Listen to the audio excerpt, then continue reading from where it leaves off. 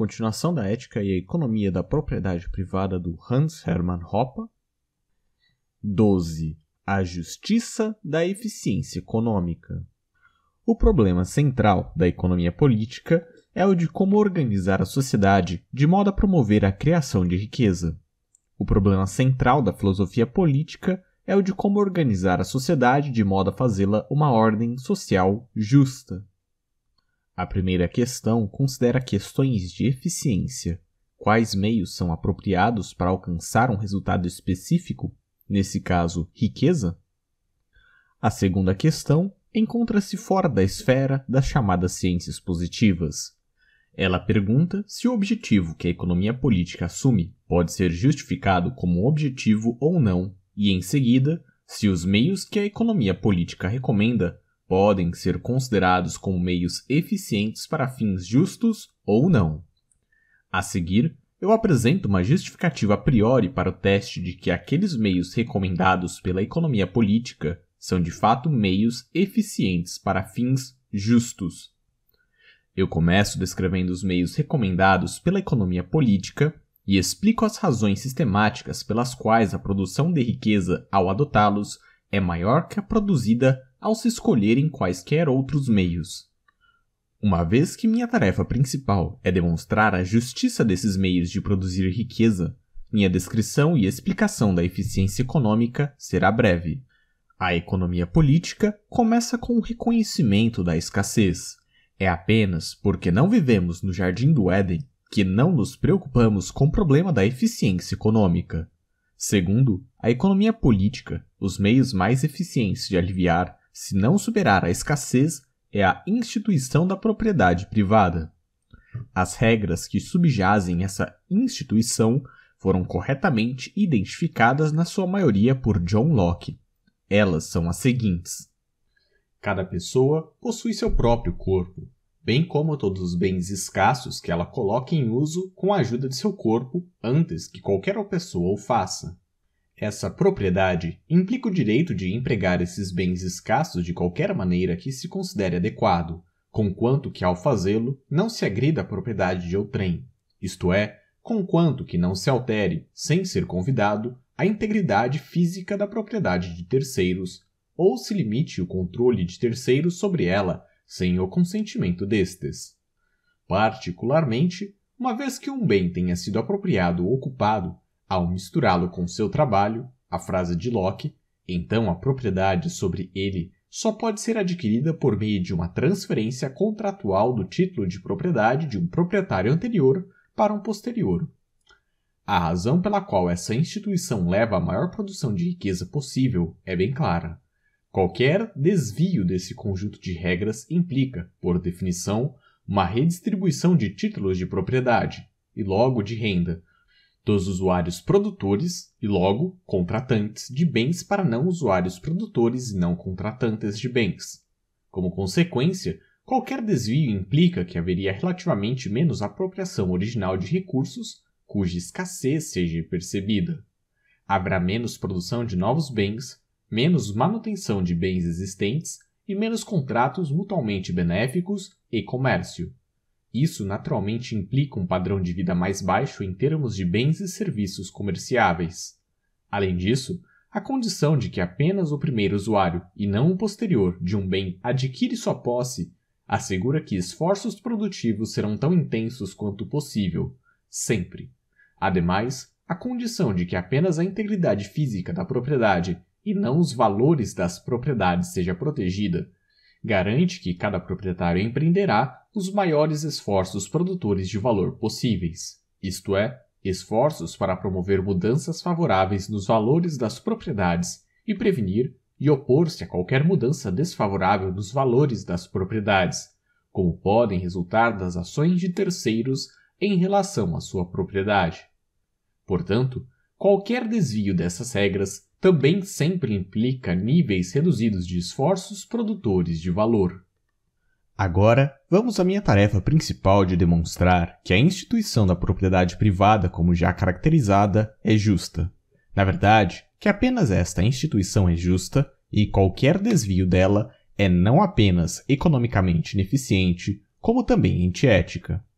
Primeiro, entretanto, permita-me esclarecer uma similaridade essencial entre o problema defrontando a economia política e aquele defrontando a filosofia política. Uma similaridade que filósofos políticos, na sua ignorância generalizada da ciência econômica, geralmente negligenciam apenas para acabar em infindáveis argumentos ad hoc. O reconhecimento da escassez é não apenas o ponto de partida da economia política, é também o ponto de partida da filosofia política. Obviamente, se houvesse uma superabundância de bens, nenhum problema econômico existiria. Com uma superabundância de bens, tal que meu uso presente deles não reduziria nem meu próprio suprimento futuro, nem o suprimento presente ou futuro deles para qualquer outra pessoa, problemas éticos de certo ou errado, justo ou injusto, não surgiriam também, uma vez que nenhum conflito sobre o uso de tais bens poderiam surgir. Apenas na medida em que bens são escassos é que a ciência econômica e a ética são necessárias. Do mesmo modo como a resposta ao problema da economia política deve ser formulada em termos de regras restringindo os usos possíveis de recursos enquanto recursos escassos, a filosofia política também deve responder em termos de direitos de propriedade. A fim de evitar conflitos inescapáveis, ela deve formular um conjunto de regras atribuindo direitos de controle exclusivo sobre bens escassos. Note que, mesmo no Jardim do Éden, o corpo de uma pessoa, o espaço ocupado por este corpo e o tempo ainda seriam escassos, e nessa medida, a economia e a filosofia políticas ainda teriam uma tarefa, mesmo que limitada, a cumprir. Agora voltemos-nos à prova concreta de que, das maneiras infinitamente inimagináveis de atribuir direitos de propriedade exclusiva às pessoas, apenas as regras de propriedade privada previamente descritas são realmente justificáveis. Eu apresentarei meu argumento passo a passo. Primeiro, embora a escassez seja uma condição necessária para o surgimento do problema da filosofia política, ela não é suficiente, porque, obviamente, nós podemos ter conflitos em relação ao uso com recursos escassos, com, digamos, um elefante ou um mosquito. Porém, nós não consideraríamos possível resolver esses conflitos por meio de propostas de normas de propriedade. Nesses casos, evitar conflitos é meramente um problema tecnológico e não ético, porquanto, para que se torne um problema ético, é também necessário que os agentes conflitantes sejam capazes, em princípio, de argumentar. De fato, isso é inegavelmente assim, porque nós também estamos ocupados com argumentação aqui. Negar que filosofia política pressupõe argumentação é contraditório, uma vez que a própria negação seria em si mesma um argumento. Apenas com a argumentação é que as ideias de validade e verdade surgem, e não apenas a ideia de verdade em assuntos éticos, mas de verdade em geral. Apenas dentro da argumentação é que reivindicações de verdade de qualquer tipo são feitas, e é apenas no curso da argumentação que reivindicações de verdade são decididas. Essa proposição, ao que parece, é ela mesma inegavelmente verdadeira. Não se pode argumentar que não se pode argumentar. E não se pode contestar saber o que significa fazer uma reivindicação de verdade sem, implicitamente, afirmar que, ao menos, a negação desta proposição é verdadeira. Meu primeiro passo na seguinte cadeia de raciocínio, então, tem sido chamado de o a priori da argumentação por filósofos como Jürgen Habermas e K. O. Appel. Da mesma forma que é inegavelmente verdade que ética requer argumentação, é também inegavelmente verdade que qualquer argumento requer uma pessoa argumentando. Argumentar não consiste de proposições flutuando no ar. É uma atividade. Se, entretanto, além de qualquer coisa que seja dita em seu decurso, a argumentação também é uma questão prática, e é a pressuposição de reivindicação de verdade e proposições possivelmente verdadeiras, então se infere que normas intersubjetivamente significativas devem existir, nomeadamente aquelas que fazem de uma ação uma argumentação, as quais devem ter um status cognitivo especial, pois que elas são as pré-condições práticas da verdade. De novo, isso é verdadeiro a priori, de modo que qualquer um, tal qual um empirista positivista e motivista que negue a possibilidade de uma ética racional e que declarasse a aceitação ou rejeitação de normas como uma questão arbitrária, seria pego invariavelmente em uma contradição prática. Porque, ao contrário do que ele dissesse, ele iria de fato ter de pressupor as normas que subjazem qualquer argumentação como válidas simplesmente para dizer qualquer coisa. Com o seguinte passo, eu perco, de uma vez por todas, a companhia de filósofos como Habermas e Apple. Ainda assim, como ficará claro a seguir, ele está diretamente implicado no passo anterior. Que Habermas e Apple sejam incapazes de dar este passo é, eu digo, devido ao fato de eles também sofrerem, como muitos outros filósofos, de uma completa ignorância da ciência econômica e uma correspondente cegueira em relação ao fato da escassez. O passo é simplesmente esse: reconhecer que a argumentação é uma forma de ação e que não consiste de sons flutuando no ar, implica o reconhecimento do fato de que toda argumentação requer que uma pessoa tenha controle exclusivo sobre o recurso escasso de seu corpo. Enquanto houver argumentação, há reconhecimento mútuo da propriedade privada de cada um sobre o próprio corpo. É esse reconhecimento do controle exclusivo de cada um sobre seu próprio corpo, pressuposto por toda a argumentação, que implica a característica única da comunicação verbal que, enquanto pode-se discordar sobre o fato que foi dito, ainda é possível concordar, ao menos, com o fato de que há essa discordância. De novo, esse direito de propriedade sobre o próprio corpo deve dizer-se justificado a priori, pois qualquer um que tente justificar qualquer norma já teria de pressupor o direito exclusivo ao controle sobre seu corpo com uma norma válida a fim de dizer eu proponho isto e aquilo.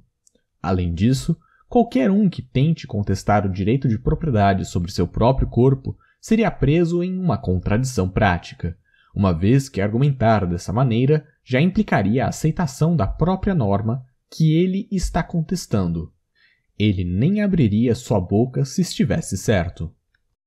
O argumento final estende a ideia de propriedade privada como justificada e justificada a priori do próprio protótipo de um bem escasso, o corpo de uma pessoa, aos outros bens. Ele consiste de duas partes.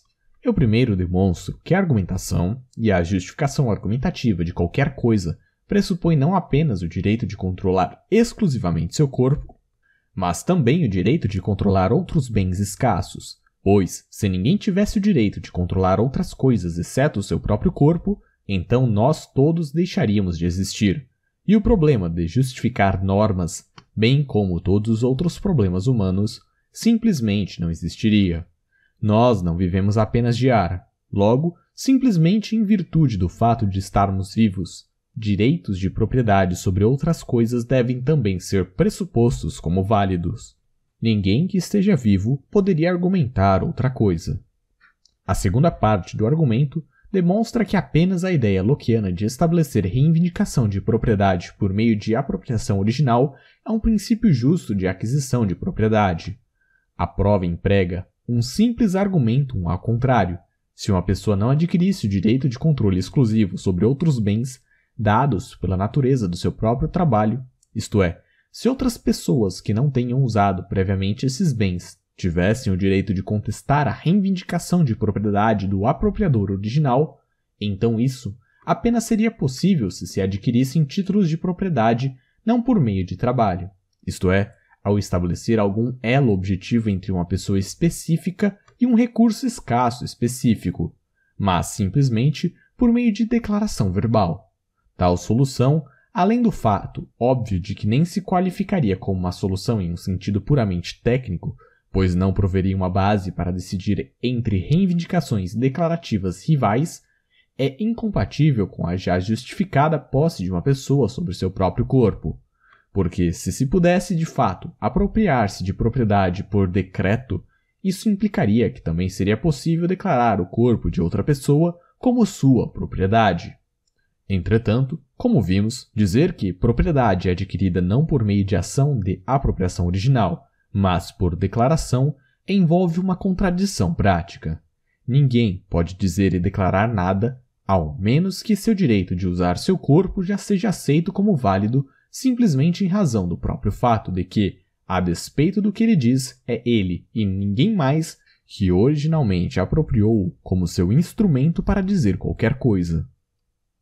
Com isso, minha justificação a priori da instituição da propriedade privada está essencialmente completa.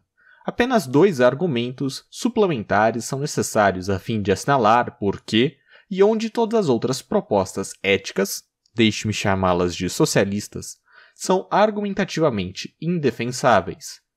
Segundo a ética da propriedade privada, recursos escassos que estão sob controle exclusivo de seus proprietários são definidos em termos físicos e mutatis mutandis, agressão é definida como uma invasão da integridade física da propriedade de outra pessoa. Como indicado, o efeito econômico dessa condição é de maximizar esforços produtores de valor. Um desvio popular disso é a ideia de definir, em vez disso, agressão como uma invasão do valor ou da integridade psíquica da propriedade de outra pessoa. Essa ideia constitui a base do princípio da diferença de John Rawls, de que todas as desigualdades têm de se esperar que sejam vantagem de todos, independentemente de como essas desigualdades tenham surgido. A reivindicação de Robert Nozick de que uma agência de proteção dominante tem o direito de banir competidores independentemente de suas ações concretas e sua reivindicação relacionada de que trocas não produtivas nas quais uma das partes estaria em melhor situação caso a outra parte não existisse, devem ser declaradas legais, de novo independentemente de se essa troca envolveu ou não qualquer agressão física. Essas propostas são absurdas, bem como indefensáveis. Enquanto toda pessoa tem controle sobre se suas ações causam mudança na integridade física de algo ou não, o controle sobre se suas ações afetam a mudança do valor da propriedade de alguém ou não recai sobre outras pessoas e suas avaliações. Ter-se-ia de interrogar e chegar a um acordo com a população de todo o mundo para se ter certeza de que suas ações planejadas não alterariam a avaliação de outra pessoa em relação à sua propriedade. Todos estaríamos mortos antes que isso pudesse ser concluído. Além disso, a ideia de que o valor da propriedade deve ser protegido é argumentativamente indefensável, pois, a fim de, ao menos, argumentar, deve-se pressupor que ações devem ser permitidas antes de qualquer acordo concreto, porque se não fosse, nem se poderia argumentar isso. Porém, se se pode, então isso apenas é possível por causa de fronteiras objetivas de propriedade, isto é, fronteiras que qualquer pessoa pode reconhecer como tais por si mesma, sem ter de primeiro concordar com mais ninguém quanto a um sistema de valores e avaliações. House e Nozick nem poderiam abrir suas bocas se fosse de outra maneira. O próprio fato, então, de que eles abrem-nas prova que o que eles dizem é errado. O segundo desvio, igualmente absurdo e indefensável, é este em vez de reconhecer a importância vital da distinção antes-depois ao decidir entre reivindicações conflitantes de propriedade, como faz a ética da propriedade privada, assim assegurando que esforços produtores de valor sejam tão intensos quanto possível, sempre a reivindicação é feita, em essência, de que prioridade é irrelevante e que retardatários têm direitos de propriedade da mesma forma que os que chegam primeiro.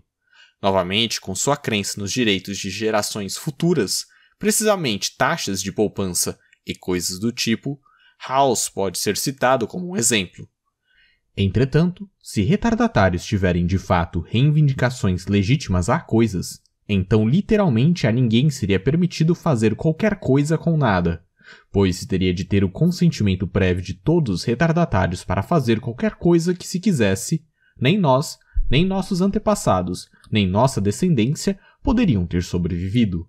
Podem sobreviver ou sobreviveriam caso se seguisse essa regra. Entretanto, para qualquer pessoa, passada, presente ou futura, argumentar algo evidentemente deve ser possível sobreviver antes e agora. Ademais, para fazer somente isso, e mesmo pessoas atrás de um véu da ignorância hausiano teriam de ser capazes de sobreviver, Direitos de propriedade não podem ser concebidos como sendo atemporais e não específicos em relação ao número de pessoas interessadas. Pelo contrário, eles devem ser pensados como tendo origem por meio de ações em pontos específicos do tempo por agentes individuais específicos. Do contrário, seria impossível para alguém dizer algo em um ponto definido do tempo e para outra pessoa ser capaz de responder.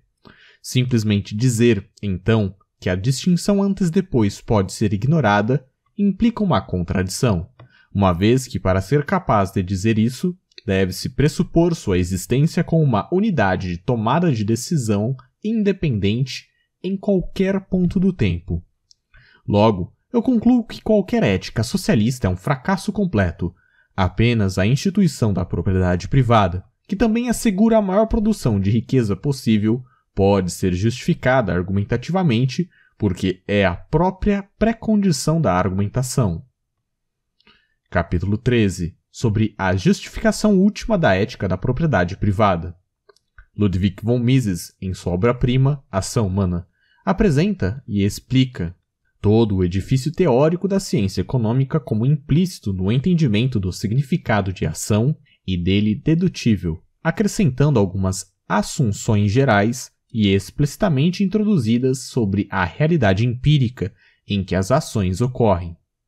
Mises chama esse conhecimento conceitual o axioma da ação e demonstra em que sentido o significado de ação, a partir do qual a teoria econômica é deduzida, isto é, de valores, fins e meios de escolha, preferência, lucro, perda e custo, deve ser considerado como conhecimento a priorístico que não é derivado de impressões sensoriais, mas da reflexão. Não se vê uma ação, mas apenas se interpretam certos fenômenos físicos como ações.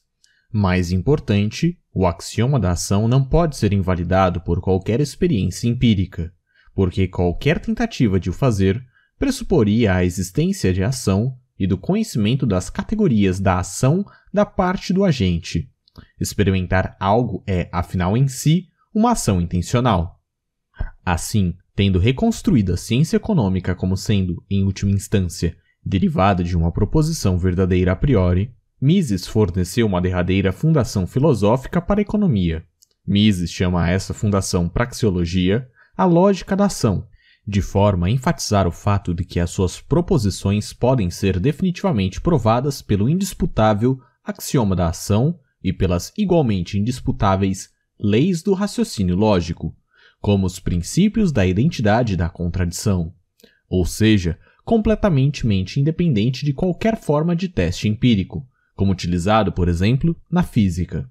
Porém, apesar de sua ideia de praxeologia e da sua edificação de todo um sistema de pensamento praxeológico, o colocar entre os grandes pensadores da tradição ocidental moderna do racionalismo, na sua procura por fundações sólidas Mises não pensa ser possível validar outra proposição dessa mesma tradição racionalista, a de que existe também uma fundação lógica para a ética.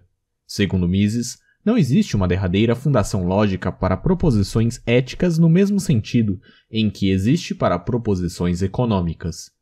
A ciência econômica pode informar-nos se determinados meios são apropriados para concretizar certos fins, Porém, é impossível para a economia ou para qualquer outra ciência determinar se um certo fim é justo ou injusto. Não existe para ele justificação científica para escolher um fim em detrimento de outro. Em última instância, qual fim é o escolhido é uma decisão arbitrária de um ponto de vista científico e é um assunto de capricho subjetivo, impossível de ser justificado, além do simples fato de ser apreciado ou não por quem o escolhe. Muitos libertários seguiram Mises nesse ponto. Como Mises, estes abandonaram a ideia de uma fundação racional para a ética. Como ele, defendem a proposição econômica de que a ordem libertária de propriedade privada produz o melhor nível de vida que qualquer outro, que a grande maioria das pessoas prefere um nível de vida superior a um inferior, e logo que a ordem libertária deveria ser bastante popular. Mas, em última análise, como Mises certamente sabia, Tais considerações podem apenas convencer alguém do libertarianismo se esse alguém tiver aceito o objetivo utilitário da maximização da riqueza. Para aqueles que não partilham desse objetivo, o libertarianismo não tem apelo. Assim, em última análise, o libertarianismo funda-se apenas num ato arbitrário de fé. O seguinte capítulo esboça o argumento que demonstra por que essa oposição é insustentável e como a ética lockeana da propriedade privada pode ser absolutamente justificada. Com efeito, este argumento suporta a posição justnaturalista do libertarianismo como exposta por outro grande mestre do libertarianismo moderno, Murr and Rothbard acima de tudo, no seu A Ética da Liberdade. No entanto, o argumento que estabelece a derradeira justificação da propriedade privada é diferente da tipicamente avançada pela tradição do direito natural. Em vez disso, é Mises e a sua ideia de praxeologia e provas praxeológicas que providencia o modelo.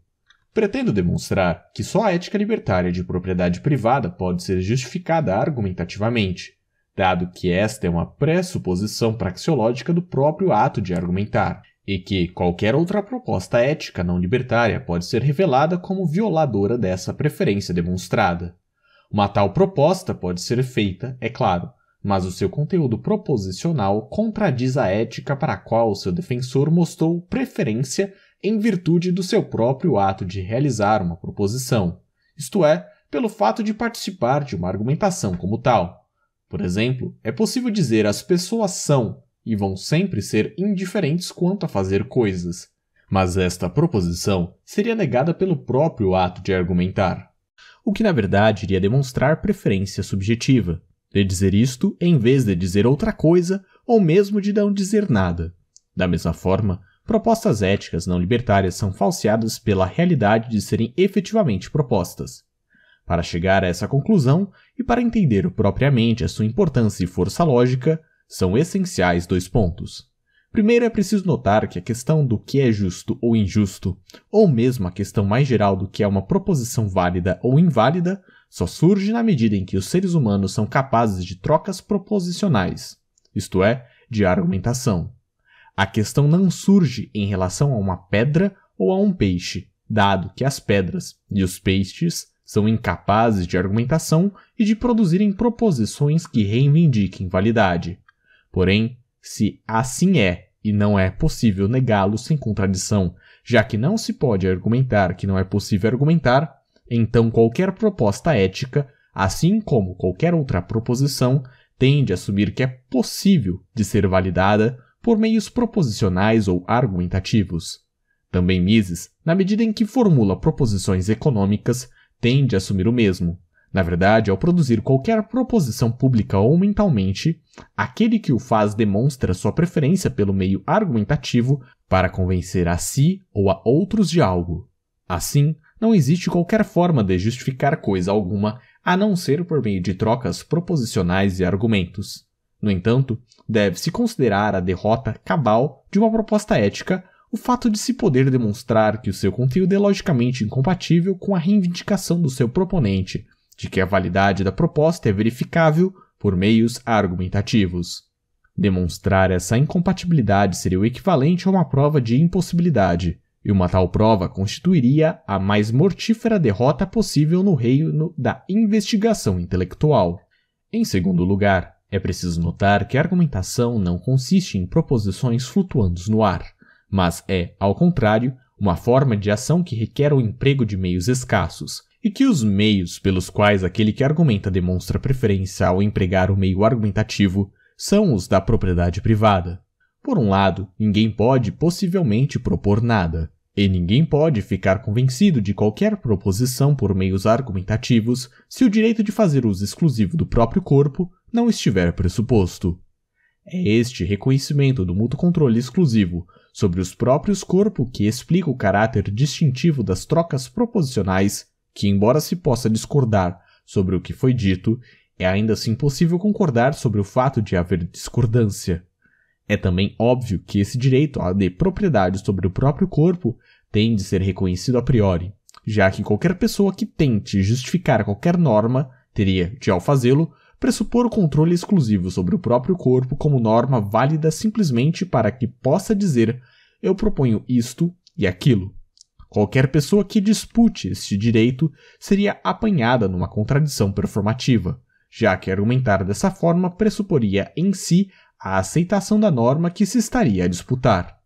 Ademais, seria igualmente impossível sustentar uma argumentação e confiar na força proposicional dos argumentos se não fosse permitido apropriar, além do próprio corpo, outros meios escassos, ao dar-lhes uso antes de qualquer outro potencial apropriador.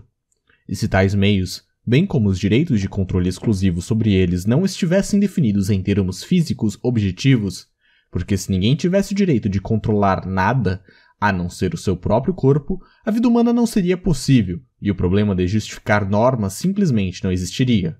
Assim, em virtude do fato de se estar vivo, direitos de propriedade sobre outros recursos escassos têm de ser pressupostos como válidos. Ninguém vivo pode argumentar o contrário. Além disso, se uma pessoa não adquirisse o direito de controle exclusivo sobre esses recursos por apropriação original, isto é, pelo estabelecimento de um vínculo objetivo entre uma pessoa particular e um particular recurso antes que qualquer outra pessoa o tenha feito, mas se, ao invés disso, fosse assumido que os retardatários tivessem reivindicação de propriedade sobre os recursos, então ninguém teria permissão para fazer, seja o que fosse, porque se teria de ter o consentimento de todos os retardatários antes de se fazer o que se quisesse. Nem nós, nem nossos antepassados, nem os nossos descendentes poderiam poder ou poderão sobreviver se tal regra fosse obedecida. Para que uma pessoa, passada, presente ou futura, possa argumentar alguma coisa, é necessário que possa sobreviver, e para poder fazê-lo, os direitos de propriedade não podem ser concebidos como intemporais e não específicos em relação ao número de pessoas envolvidas. Pelo contrário, os direitos de propriedade têm de ser pensados como tendo origem em ações de indivíduos específicos em pontos definidos no tempo. De outra forma, seria impossível dizer algo primeiro num determinado momento e ouvir depois uma resposta. Dizer simplesmente que a regra de apropriação original do libertarianismo pode ser ignorada ou é injustificada implica uma contradição, já que a capacidade de dizer pressupõe a própria existência como uma unidade independente tomadora de decisão num determinado ponto do tempo. Finalmente, agir e argumentar também seria impossível se os bens adquiridos através de apropriação original não fossem definidos em termos físicos objetivos, e se, correspondentemente, a agressão não fosse definida como uma invasão da integridade física da propriedade alheia, mas sim em termos de valores subjetivos.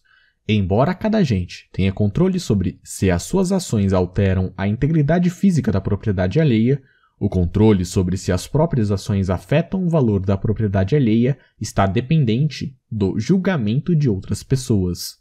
Seria necessário interrogar e chegar num acordo com toda a população mundial para ter a certeza de que as nossas ações não alterariam as avaliações subjetivas de outra pessoa em relação à sua propriedade.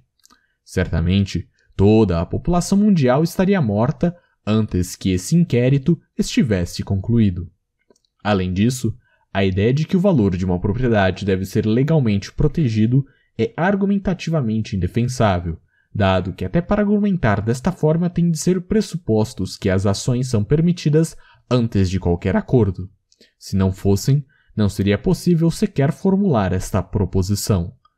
Mas se são permitidas, porém, isto é possível apenas porque existem fronteiras objetivas de propriedades, ou seja, fronteiras que qualquer pessoa pode reconhecer por si mesma sem ter de, primeiro, concordar com outra pessoa sobre um sistema de valores.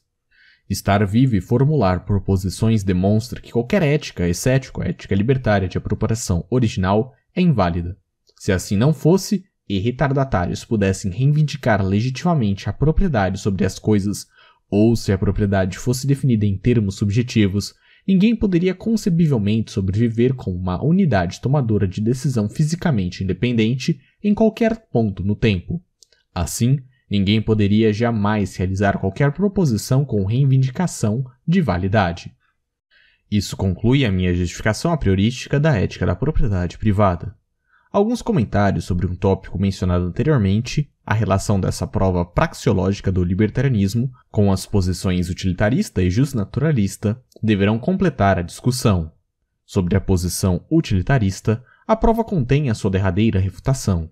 Ela demonstra que, para propor a posição utilitarista direito de uso exclusivo sobre o próprio corpo e sobre bens originalmente apropriados, têm de ser pressupostos como válidos. Mais especificamente em relação ao aspecto consequencialista do libertarianismo, a prova mostra sua impossibilidade praxeológica. A atribuição de direitos de controle exclusivo não pode estar dependente de certos resultados. Seria impossível agir e propor alguma coisa a menos que direitos de propriedade privada existissem previamente. Uma ética consequencialista é, pois, um absurdo praxeológico. Uma ética tem, pelo contrário, de ser a priorística, ou instantânea de forma a tornar possível agir no presente e propor algo ao invés de suspender a ação até mais tarde. Ninguém que advogue uma ética de esperar pelo resultado estaria vivo para dizer, seja o que fosse, se levasse os seus conselhos a sério. Ademais, na medida em que os proponentes do utilitarismo ainda existem, eles demonstram através das suas ações que a sua doutrina consequencialista é e tem de ser reconhecida como falsa. Agir e argumentar requerem direitos de propriedade privada agora, e não é possível esperar que sejam designados posteriormente.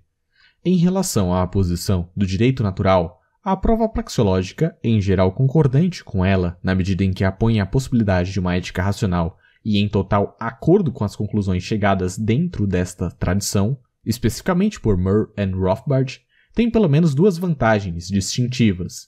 Em primeiro lugar, tem havido uma disputa comum com a posição justnaturalista, mesmo da parte de observadores simpatizantes, de que o conceito de natureza humana é demasiado difuso para permitir a dedução de um determinado grupo de regras de conduta. A abordagem praxeológica resolve esse problema ao reconhecer que não é o vasto conceito de natureza humana, mas sim o conceito mais definido de argumentação que tem de servir como ponto de partida à dedução de uma ética. Além disso, existe uma justificação a priorística para tal escolha, na medida em que o problema de verdadeiro e falso, de certo e errado, não surge independentemente de trocas proposicionais. Ninguém, assim, pode concebivelmente desafiar esse ponto de partida sem se contradizer. Finalmente, é a argumentação que requer o reconhecimento da propriedade privada. Por isso, um desafio argumentativo da validade de uma ética de propriedade privada é praxeologicamente impossível. Em segundo lugar, existe um vazio lógico entre enunciados de ser e dever ser que os proponentes do direito natural falharam em ligar, exceto para desenvolver certos pontos críticos gerais em relação à derradeira validade da dicotomia fato-valor. Aqui, a prova praxeológica do libertarianismo tem a vantagem de oferecer uma justificação da propriedade privada livre de julgamentos de valor. A prova praxeológica permanece inteiramente no domínio do ser, sem nunca derivar proposições do mundo normativo a partir de proposições factuais. A estrutura do argumento é a seguinte: A. Uma justificação é uma justificação proposicional. Afirmação factual, a priori, verdadeira. B. A argumentação pressupõe propriedade sobre o próprio corpo e o princípio da apropriação original. Afirmação factual, a priori, verdadeira. E C Logo, nenhum desvio dessa ética pode ser argumentativamente justificado. A afirmação factual, a priori, verdadeira. A prova também oferece a chave para compreender a natureza da dicotomia fato-valor. Afirmações de dever ser não podem ser derivadas de afirmações de ser. Elas pertencem a diferentes domínios lógicos. É também claro, entanto, que ninguém pode sequer afirmar que existem fatores e valores se nenhuma troca proposicional existe, e que essa prática argumentativa, por sua vez, pressupõe a aceitação da ética da propriedade privada como válida. Em outras palavras, a cognição e a procura pela verdade, enquanto tais, têm uma fundação normativa, e essa fundação em que a cognição e a verdade assentam é o reconhecimento de direitos de propriedade. Capítulo 14 O racionalismo austríaco na era do declínio do positivismo. 1. Racionalismo e relativismo nas ciências naturais e sociais. O racionalismo filosófico afirma que o homem é capaz de reconhecer fundamentos e princípios últimos do conhecimento. Reconhece que todo conhecimento que deve ser pressuposto na medida em que se argumente acerca de qualquer afirmação e que dessa forma não pode ser significativamente contestado por ser a pré-condição da dúvida significativa, é definitivamente justificado e válido a priori. A lei da contradição é um exemplo. Além disso, O racionalismo filosófico afirma que, baseado no reconhecimento de tais verdades últimas, o homem é capaz de realizar progresso científico sistemático. O relativismo nega a existência de fundamentos absolutos do conhecimento e a possibilidade do progresso científico. Parece haver pouca ou nenhuma evidência em favor do relativismo nas ciências naturais. É inegável que a história das ciências naturais tem sido do progresso contínuo e que o homem tem logrado sobre a natureza domínio que ultrapassou de longe o de eras passadas. Além disso, disciplinas tais como lógica proposicional, aritmética, geometria euclidiana, mecânica racional, mecânica clássica sem a gravitação e cronometria, todas que têm sido denominadas de protofísica, fornecem exemplos perfeitos da ideia racionalista de conhecimento definitivo. A lógica e a protofísica devem ser pressupostas se se quiser dizer qualquer coisa, ou se se pretende fazer qualquer medição empírica do espaço, do tempo ou da matéria. E dessa maneira não podem ser invalidadas por nenhuma mensuração ou experiência humana. Não se pode dizer, por exemplo, que a geometria euclidiana foi falseada pela teoria da relatividade, porque a fundação da teoria da relatividade pressupõe a validade da geometria euclidiana na construção dos instrumentos de medição. Pelo contrário, em plena conformidade com as afirmações do racionalismo, parece que é precisamente o status da lógica e da protofísica como teorias absolutamente justificadas a priori que torna o progresso em ciências naturais empíricas sistematicamente possível. Essa visão sobre as ciências naturais e seu desenvolvimento foi alvo de críticas na esteira do muito celebrado livro de Thomas Kuhn, The Structure of Scientific Revolution, em análises detalhadas de episódios centrais na história das ciências naturais empíricas, Kuhn contestou a visão de que o progresso do desenvolvimento científico pudesse ser descrito como um avanço gradual em direção à verdade através de séries de conjecturas hipotéticas, experimentos cruciais e eliminação de teorias experimentalmente falseadas, com cada geração futura conhecendo mais que a anterior. Em vez disso, de acordo com Kuhn, esse tem sido um processo não cumulativo e não teológico. Distintos paradigmas e visões de essência da natureza se seguem e se suplantam umas após as outras, como ortodoxias temporais, com cada paradigma sendo não refutável pela experiência ou imune a esta, e sendo os paradigmas diferentes e incomensuráveis entre si. Trocas de paradigmas não foram motivadas por experiências incontrovertidas, mas se assemelham a conversões religiosas. Paradigmas velhos morriam conforme os cientistas, seus promotores, morriam.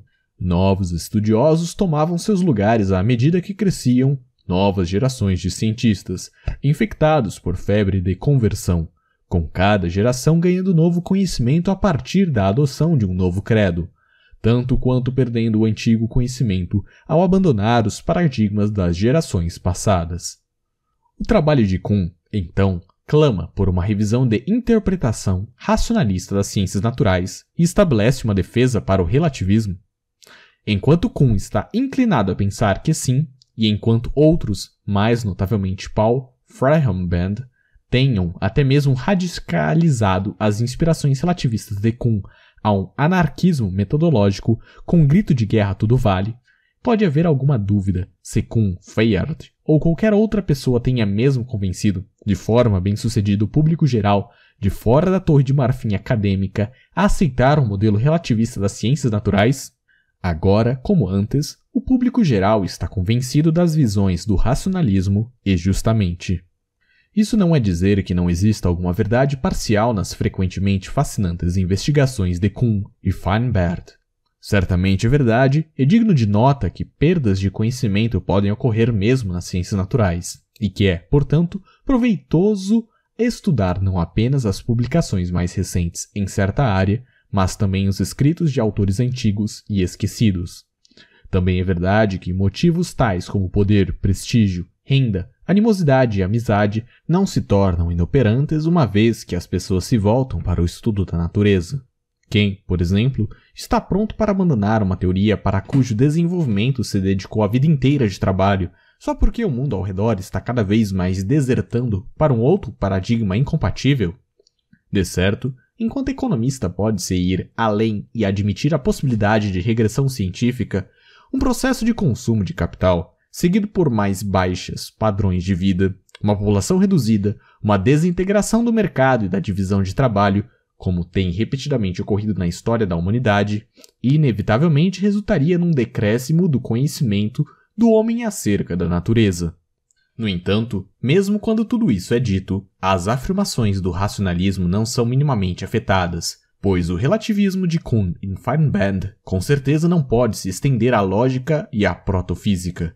Se se pretende fazer uma proposição significativa, ou qualquer medição, não vale tudo, tais disciplinas que incidentalmente permaneceram em grande medida fora do escopo das considerações de Kuhn e Fahrenband são absolutamente indispensáveis para qualquer ciência natural empírica, e não meramente paradigmas irrefutáveis suscetíveis de substituição por outros incomensuráveis. Porém, uma vez que isso é reconhecido, e uma vez que é entendido que a feitura de proposições, a contagem, a construção de instrumentos de medição e a mensuração, tudo o que torna possíveis as ciências naturais empíricas, são atividades propositadas, Faça imediatamente claro que os paradigmas das ciências naturais devem ser concebidos como meios para alcançar um fim humano universal, indispensável e que eles devem ser comensuráveis com respeito à sua eficiência de atingir esse fim. A impressão relativista do desenvolvimento das ciências naturais empíricas que Kuhn e Feirenband tentam transmitir pode ser traçada até o fato de que ambos compreendem mal as teorias científicas como meros sistemas de proposições verbais e ignoram sistematicamente sua fundação na realidade da ação. Somente se alguém considera teorias como sendo completamente separadas da ação é que não só qualquer teoria se torna imune, como também duas teorias rivais, cujos respectivos termos não possam ser reduzidos e definidos em termos uma da outra, devem então parecer completamente incomensuráveis, de modo a excluir qualquer escolha racional entre eles. Entretanto, isso não afeta a refutabilidade de nenhuma teoria, nem a comensurabilidade de paradigmas rivais, no nível inteiramente diferente do aplicá-las na realidade da ação, de usá-las como instrumento para a realização de um propósito prático. No nível de meras palavras, paradigmas podem ser irrefutáveis e incomensuráveis, mas, na prática, eles jamais podem ser. De fato, não se poderia sequer alegar que qualquer paradigma era irrefutável ou quaisquer dois paradigmas foram incomensuráveis, e em que aspecto eram, a menos que se pressuponha um pano de fundo categórico comum que possa servir como a base para essa avaliação ou comparação. É essa refutabilidade e comensurabilidade prática dos paradigmas das ciências naturais empíricas que explica a possibilidade de progresso tecnológico, ao ignorar sistematicamente o fato de que teorias e observações teoreticamente interpretadas são aquelas de um agente, construídas e feitas para se agir com sucesso, Kuhn e Feyerabend privaram-se do próprio critério contra. Ok, não consigo narrar o nome desse cara aí. É F-E-Y-E-R-A-B-E-N-D.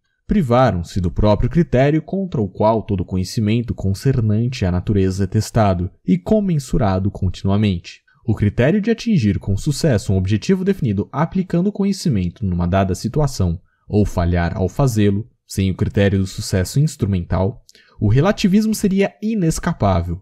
Porém, em cada uma das nossas ações frente à natureza, nós confirmamos a afirmação do racionalismo de que se pode identificar uma gama de aplicações para algum saber teórico e testá-lo por seu sucesso dentro dessa gama, e por isso teorias rivais devem ser consideradas comensuráveis no que diz respeito a tais campos de aplicação e sucesso.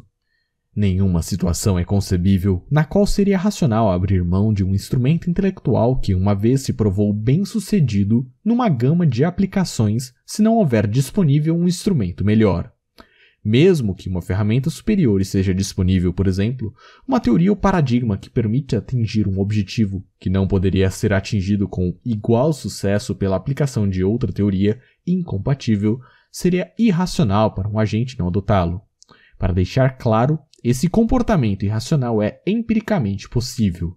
Todavia, quem quer que o escolha terá de pagar um preço por agir assim. Ele se privaria da habilidade de atingir objetivos que, de outro modo, ele alcançaria. E isolado de todos os contextos sociais que podem oferecer outras razões sociopsicológicas para não adotá-lo. Sozinho, perante a natureza, ninguém capaz de distinguir entre ação bem-sucedida e mal-sucedida iria querer pagar esse preço. É isso que explica a inadmissibilidade de uma visão relativista das ciências naturais e a possibilidade do efetivamente observável progresso contínuo, às vezes por razões sociopsicológicas um pouco errático, do domínio do homem sobre a natureza que Kuhn e Feirenband declarariam inexistente, embora pareça estar o tempo todo lhes encarando as faces. A situação é muito diferente se se volta das ciências naturais para sociais. Aqui, as reivindicações do racionalismo parecem encontrar bem menos suporte e o relativismo ganhou amplíssima aceitação pública. Na dianteira dos indicadores citados em apoio ao relativismo está a observação de que não há nada no desenvolvimento das ciências sociais semelhantes ao progresso que tem sido obtido nas ciências naturais. Enquanto nossos poderes preditivos e controle instrumental sobre a natureza tenham aumentado dramaticamente desde os tempos de Platão e Aristóteles, o desenvolvimento das ciências sociais empíricas tem se caracterizado por uma imobilização.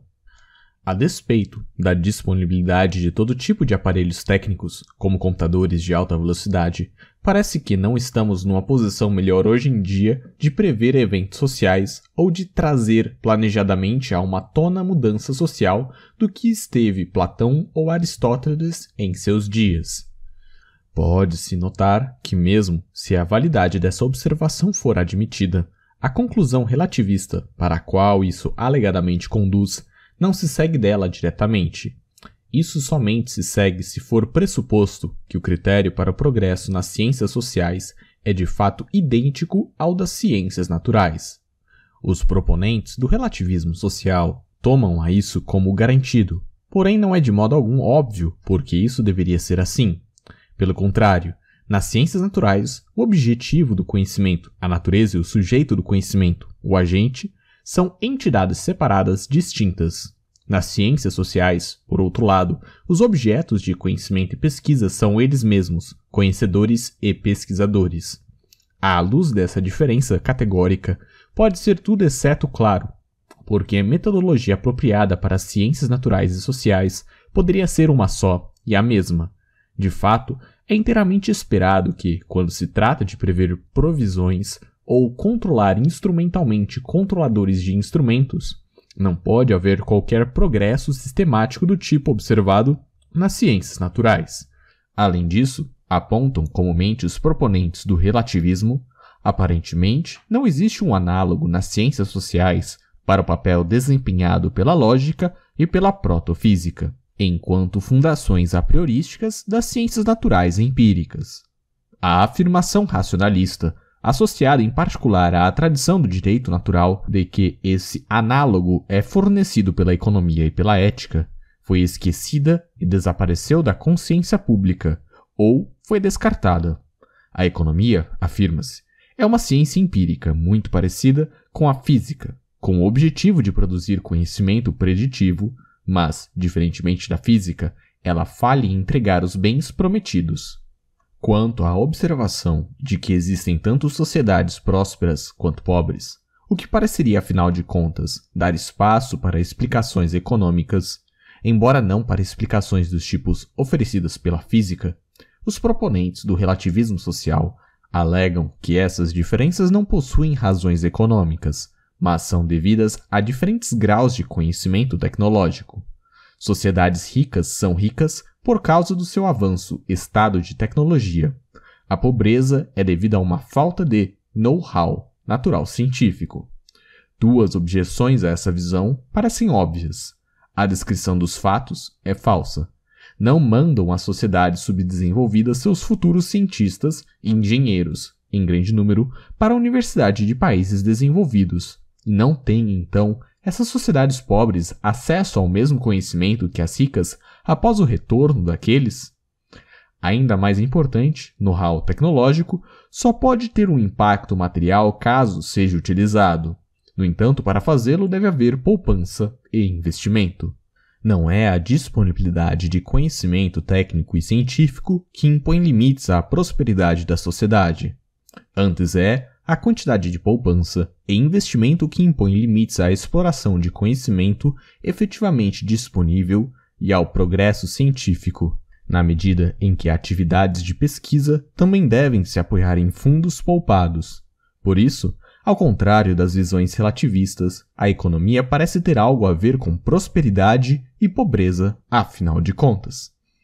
Tampouco a ética, afirma-se, oferece suporte para tudo exceto para o relativismo, pois o fato das contínuas e, ao que parece, inextinguíveis diferenças de opinião no campo da política contemporânea não prova conclusivamente o relativismo ético? A antropologia social, os estudos de sociedades como os insulares Fiddish ou os nativos da Nova Guiné, por exemplo, não adiciona ainda mais evidências em favor de conclusões relativistas? Existem instituições como o canibalismo ou a escravidão, cuja defesa em um relativista pode estar duramente pressionado a fazer? No entanto, de acordo com os relativistas éticos, considerar essas práticas como evidências em contrário é o resultado de uma má compreensão. O problema com essas instituições não é que elas invalidam o relativismo, mas que sociedades que as adotam estão ainda sob o feitiço do racionalismo social. Isto é, eles ainda acreditam de maneira errônea em uma ética absolutamente fundada. O relativismo ético, alegam seus proponentes, descarta práticas intolerantes como essas e implica um pluralismo de valores. E é ele mesmo outra ideologia sem fundamento. E não existe nenhuma razão convincente para adotá-lo em lugar de outra ideologia. Apenas se razões válidas a priori pudessem ser dadas para adotar o pluralismo, é que este poderia se dizer salvaguardar a tolerância e que poderia o canibalismo e a escravidão serem excluídos de entre as práticas sociais aceitáveis. 2. O positivismo e a destruição relativismo da ética e da economia. Nenhuma outra doutrina filosófica nos tempos modernos contribuiu mais para a propagação do relativismo do que o positivismo, radicada na tradição do empirismo clássico de Locke e Hume, emergiu primeiro em Viena, por volta da virada do século e então se estabeleceu, em particular como consequência da imigração de seus líderes intelectuais para os Estados Unidos durante a década de 1930, como credo filosófico dominante do mundo ocidental. Embora os dogmas básicos do positivismo equivalham a uma negação das afirmações do racionalismo enquanto aplicadas às ciências naturais, bem como às sociais, seu impacto foi especialmente forte nestas últimas. Para deixar claro, não pode haver dúvidas de que mesmo as ciências naturais, e em especial a lógica e a protofísica, sofreram pela influência do positivismo. Contudo, por razões já mencionadas, sabotar o racionalismo nesse campo seria extremamente difícil. Adotar um ponto de vista relativista equivaleria, em última análise, a abandonar os meios intelectuais para o próprio manejo bem-sucedido da natureza, e ninguém capaz de discernir sucesso e malogro tem um interesse sistemático em pagar esse preço. Nas ciências sociais, as coisas são diferentes. Conquanto até agora a defesa puramente intelectual do relativismo social dificilmente apareceu melhor fundada do que para as ciências naturais, e embora eu o demonstre em seguida ser totalmente sem base, Advogar e adotar o relativismo nas ciências sociais não é autorrefutável no mesmo sentido que é ou é nas ciências naturais. Se se negasse a existência de leis absolutas da economia e ou da ética e a possibilidade de progresso social, um preço teria de ser pago também. No entanto, o preço não necessariamente teria que ser pago de modo direto e nem ser suportado invariavelmente na íntegra por quem quer que o adote e haja conforme essa visão. Antes, aquele que a adotou poderia externalizar os custos da sua visão sobre os outros. Por isso, na medida em que o relativismo pode servir como meio para aumentar o próprio bem-estar a expensas do bem-estar de outrem, indivíduos podem ter um interesse em advogar o relativismo social. É isso que explica porque a influência do positivismo se fez sentir principalmente nas ciências sociais. Tendo isso sido pretendido pelos positivistas ou não, sua mensagem filosófica foi rapidamente reconhecida pelos poderosos como uma arma ideológica poderosa na busca do seu próprio objetivo de aumentar seu controle sobre os outros e de enriquecer-se à custa dos outros. Em consequência, pródigo suporte foi concedido ao movimento positivista, e este movimento retornou o favor destruindo em particular a economia e a ética como os bastiões tradicionais do racionalismo social e erradicando da consciência pública um vasto corpo de conhecimento que uma vez constituiu uma parte aparentemente permanente da herança da civilização e do pensamento ocidental.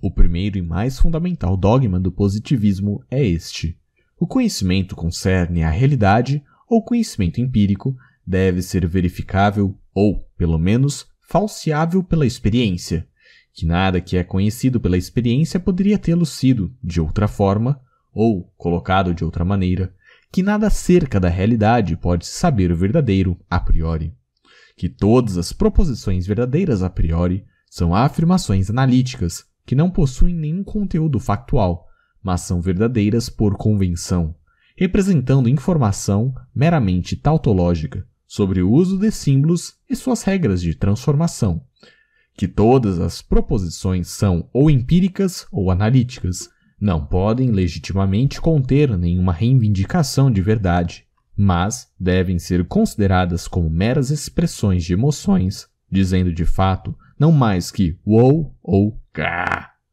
O segundo dogma do positivismo formula a extensão, ou melhor, a aplicação do primeiro ao problema da elucidação científica.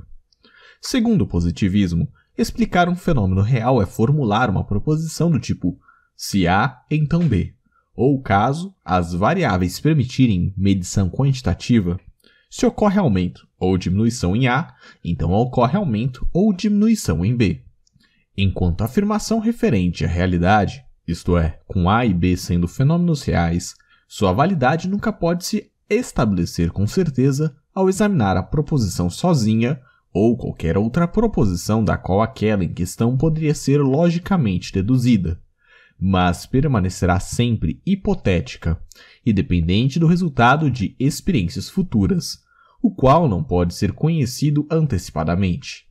Caso a experiência confirme a explicação hipotética, isto é, caso se observe uma instância em que B de fato se segue de A, como previsto, isso não provaria que a hipótese é verdadeira, já que A e B são termos gerais, abstratos, universais em oposição a nomes próprios, que se referem a fenômenos ou eventos do quais existe, ou pelo menos em princípio pode existir, um número indefinido de instâncias, e por isso experiências posteriores ainda poderiam falseá-la. E se uma experiência falseou uma hipótese, isto é, se se observou uma instância de A de que B não seguiu, isso tampouco seria decisivo, pois ainda seria possível que os fenômenos hipoteticamente relatados estivessem de fato conectados e que alguma outra circunstância ou variável previamente negligenciada e não controlada tenha simplesmente impedido a relação hipotética de ser realmente observada. Um falseamento provaria apenas que a hipótese particular sobre investigação não estava completamente correta da maneira como se apresentava e precisa de algum refinamento alguma especificação de variáveis adicionais que se teriam de controlar para que o cientista seja capaz de observar a suposta relação entre A e B. No entanto, uma falsificação jamais provaria de uma vez por todas que não existe uma relação entre determinados fenômenos. Por fim, o positivismo afirma que esses dois dogmas relacionados aplicam-se universalmente a todos os campos do saber, a tese da unidade da ciência, não existe nenhum conhecimento a priori da natureza nem da realidade social das ações e conhecimentos humanos, e a estrutura das explicações científicas é a mesma independentemente do objeto. Assumindo aqui que essa doutrina esteja correta, é fácil reconhecer suas implicações relativistas. A ética não é uma disciplina cognitiva. Qualquer proposição normativa é também fundada, ou melhor, infundada, quanto qualquer outra. Mas então o que há de errado com todo mundo tentando impor o que quer sobre os outros? Certamente nada. Tudo é permitido. A ética é reduzida à pergunta: o que eu posso fazer e me safar? Que mensagem melhor poderia existir para aqueles do poder, para o rei canibal, para o dono de escravos ou para os titulares de cargos do governo? É precisamente o que eles querem ouvir. A força é e faz o direito. De maneira semelhante, eles devem ficar surpresos quanto à mensagem do positivismo com respeito às ciências positivas. Nas ciências naturais, a doutrina positivista é relativamente inofensiva. Disciplinas tais como a lógica e a protofísica, cujas proposições são geralmente consideradas verdadeiras a priori, não falseáveis pela experiência, são interpretadas por positivistas como contendo nenhum conhecimento real, como formalismos empiricamente vazios. Essa visão ajudou a legitimar e promover a degeneração de partes da lógica e da matemática em jogos simbólicos sem significado, de que o público geral permaneceu amplamente ignorante devido à natureza misteriosa do assunto. Mas isso não mudou, e nem poderia, o fato de que, pelo menos, algumas proposições da lógica e da matemática são empregadas como a própria base das ciências naturais empíricas, e por isso são, de fato, tratadas como se contivessem informação empírica, ainda que não do tipo hipotético. Também não há muito prejuízo na visão positivista das ciências naturais empíricas, como a física.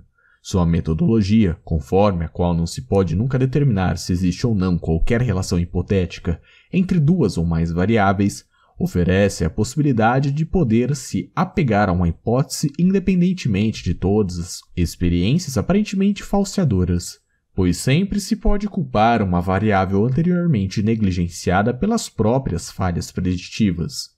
No entanto, como explicado acima, ninguém tentando produzir algum evento físico iria sistematicamente preferir encontrar desculpas por não alcançar esse objetivo em lugar de realmente alcançá-lo, porque ele teria de pagar sozinho o preço dessa teimosia. No domínio das ciências sociais, porém, onde os custos das ações de alguém podem ser externalizados sobre outrem, essa possibilidade de imunizar a hipótese contra falseamento oferece agradáveis oportunidades para aqueles no poder. Considere algumas proposições econômicas típicas. Sempre que uma troca não for voluntária, mas coercitiva, como assaltos em estradas ou impostos, uma das partes lucrará à custa da outra. Ou, sempre que se impuserem leis de salário mínimo que exigirem que as taxas de salário sejam maiores que as existentes no mercado, ocorrerá desemprego involuntário. Ou, sempre que a quantidade de dinheiro for aumentada enquanto a demanda por ele permanece a mesma, o poder aquisitivo da moeda diminuirá. Ou, será ótima a oferta de dinheiro quando qualquer aumento nessa oferta não puder elevar o padrão geral de vida, embora possa ter efeitos redistributivos ou propriedade coletiva de todos os fatores de produção torna impossível a contabilidade de custos, e desse modo leva a uma produção inferior em termos de avaliações dos consumidores. Ou a tributação da renda de produtores eleva sua taxa efetiva de preferência temporal e assim acarreta uma produção menor de bens. Aparentemente, essas proposições contêm conhecimento acerca da realidade, todavia não parecem ser falseáveis, mas verdadeiras por definição. No entanto, de acordo com o positivismo, isso não pode ser assim, na medida em que reivindicam ser afirmações empiricamente significativas, elas devem ser hipóteses sujeitas a confirmação ou falseamento empírico. Pode-se formular o exato oposto das mencionadas proposições, sem desse modo afirmar nada que pudesse ser reconhecido desde o início a priori como falso e sem sentido. A experiência teria que decidir a questão. Assim, assumindo a doutrina positivista, o ladrão de estrada, o cobrador de impostos, o sindicalista ou a comissão de diretores do Federal Reserve agiriam legitimamente de um ponto de vista científico, ao afirmar que a tributação beneficia o tributado e aumenta a produção. Leis de salário mínimo aumentam o emprego, e a criação do papel moeda gera prosperidade geral.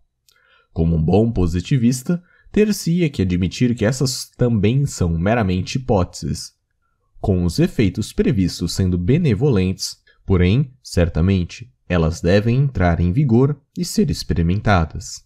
Afinal de contas, não se devem fechar os olhos para a experiência nova, e deve-se sempre estar disposto para reagir de maneira flexível e com mente aberta dependendo do resultado de tal experiência.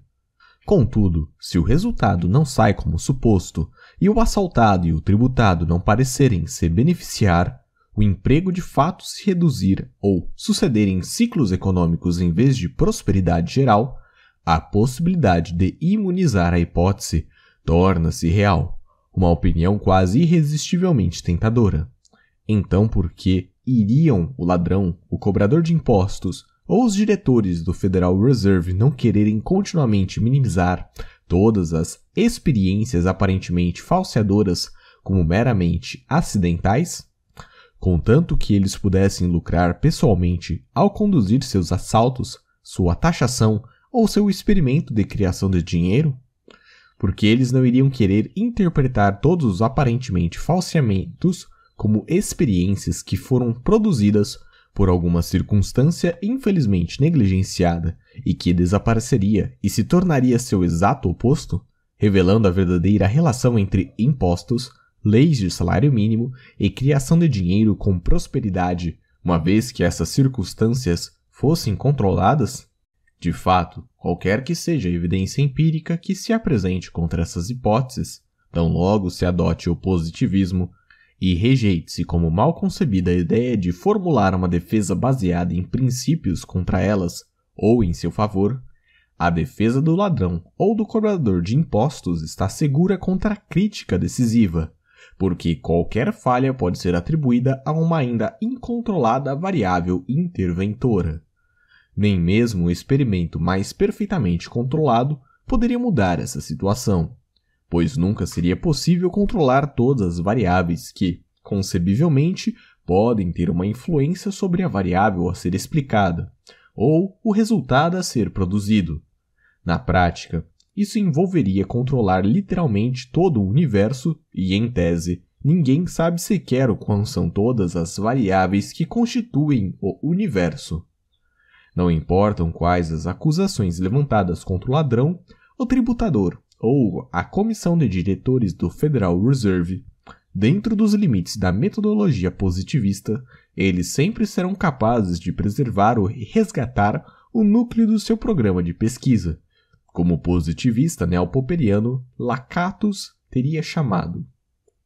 A experiência apenas nos diz que um experimento particular não alcançou seu objetivo, mas jamais pode nos dizer se algum outro, sutilmente diferente, produzirá quaisquer resultados distintos, ou se é possível atingir o objetivo de gerar prosperidade geral por meio de qualquer forma de roubo, taxação ou criação de papel-moeda. A altitude frente à economia positiva que o positivismo fomenta e que se tornou de fato característica da maior parte das elites do poder contemporâneas e de seus guarda-costas intelectuais subsidiários é aquela de uma engenharia social relativista cujo mote é não se pode saber com certeza que algo é impossível no reino do fenômeno social e não há nada que não se queira experimentar sobre seus próprios semelhantes contanto que se mantenha de mente aberta. O fato de que o positivismo apoia a mentalidade do relativismo social não prova que ele está errado. Entretanto, suspeita quanto à sua validade parece ser adequado. De certo, não é óbvio que de modo algum não deveria existir um padrão ético racional e que, literalmente, tudo vale. Nem é intuitivamente plausível que a economia deveria ser um jogo simbólico sem significado, um sistema de proposições analíticas ou um conjunto de previsões hipotéticas empiricamente falseáveis, concernentes ao resultado de ações e interações humanas. No primeiro caso, seria nada mais que uma perda de tempo, e no último, a economia obviamente seria impotente e então irrelevante. Na verdade, o padeiro na antiga Atenas poderia ter previsto o comportamento de seus companheiros melhor e com mais elevado grau de confiança do que sua contrapartida moderna. No entanto, proposições econômicas, como aquelas supracitadas, não são, aparentemente, sem significado nem irrelevantes. Com efeito, à luz das implicações do positivismo promotoras dos interesses daqueles no poder, pode-se muito bem suspeitar que o positivismo pode vir a ser aceito mesmo se for falso, e que pode persistir mesmo se suas falsidades forem expostas, como com certeza foram. Cada uma das três premissas interrelacionadas do positivismo é demonstravelmente falsa. No que diz respeito à classificação positivista supostamente exaustiva das proposições em analíticas, empíricas e emotivas, deve-se perguntar: qual é então o status desse próprio axioma? Deve ser analítico ou empírico ou deve ser uma expressão de emoções? Se for tomada por analítico, então trata-se meramente de um jogo de palavras vazio, não dizendo nada sobre algo real, mas apenas definindo um som ou símbolo por outro. Logo, ter-se-ia que simplesmente dar de ombros e responder: e daí? A mesma resposta seria apropriada se o argumento positivista fosse considerado uma proposição empírica. Se fosse esse o caso, teria que ser admitido que a proposição pode muito bem estar errado e que teria o direito de conhecer o critério com base no qual se haveria de decidir se está mesmo ou não. Mas, decisivamente, enquanto proposição empírica, só poderia meramente atestar um fato histórico, e seria assim inteiramente relevante para determinar se seria ou não possível produzir proposições que sejam empíricas e ainda assim não falseáveis ou que sejam normativas, porém não emotivas. Finalmente, se se assumisse que a linha do raciocínio positivista é uma proposição emotiva, então, de acordo com a sua própria doutrina, ela é cognitivamente sem significado e não contém nenhuma reivindicação de verdade e não seria necessário prestar mais atenção a ela do que a um cachorro latindo. Desse modo, deve-se concluir, desde o princípio, que o positivismo é um fracasso completo. Ele não prova que não pode haver uma ética racional. Não pode nem sequer ser considerado uma epistemologia, uma teoria justificável do conhecimento. Pois que, se fosse, então a premissa mais básica do positivismo teria que ser uma proposição sintética a priori, empírica, mas não falseável, cuja existência o positivismo nega. Dessa maneira, ter-se-ia desembarcado na terra do racionalismo social. Similarmente, a alegação positivista de que todas as explicações científicas são hipotéticas é autodestrutiva, pois qual é o status da explicação? Para ver isso, deixe-se assumir que uma explicação relacionando dois ou mais eventos se descobriu encaixar-se num conjunto de informações, e que é então aplicada a um segundo conjunto de informações, presumivelmente para se submeter a mais testes empíricos. Agora, deve-se perguntar: qual é a pressuposição que se deve fazer para relacionar a segunda experiência com a primeira, como confirmando ou a falseando? Pode parecer que, se na segunda instância de experiência as observações da primeira se repetissem, isso seria uma confirmação, e caso não se repetissem, um falseamento.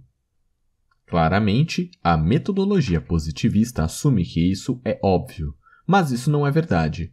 A experiência apenas revela que duas ou mais observações no tocante à sequência temporal de dois ou mais tipos de eventos podem ser classificados neutramente como repetição ou não repetição.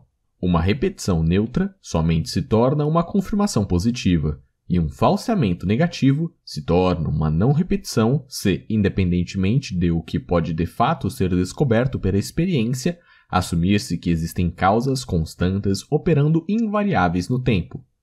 Se ao contrário disso, é assumido que causas no curso do tempo podem operar às vezes de um jeito e outras vezes de outro, então essas ocorrências repetitivas ou não repetitivas são e permanecem experiências registradas de maneira neutra, totalmente independente uma da outra.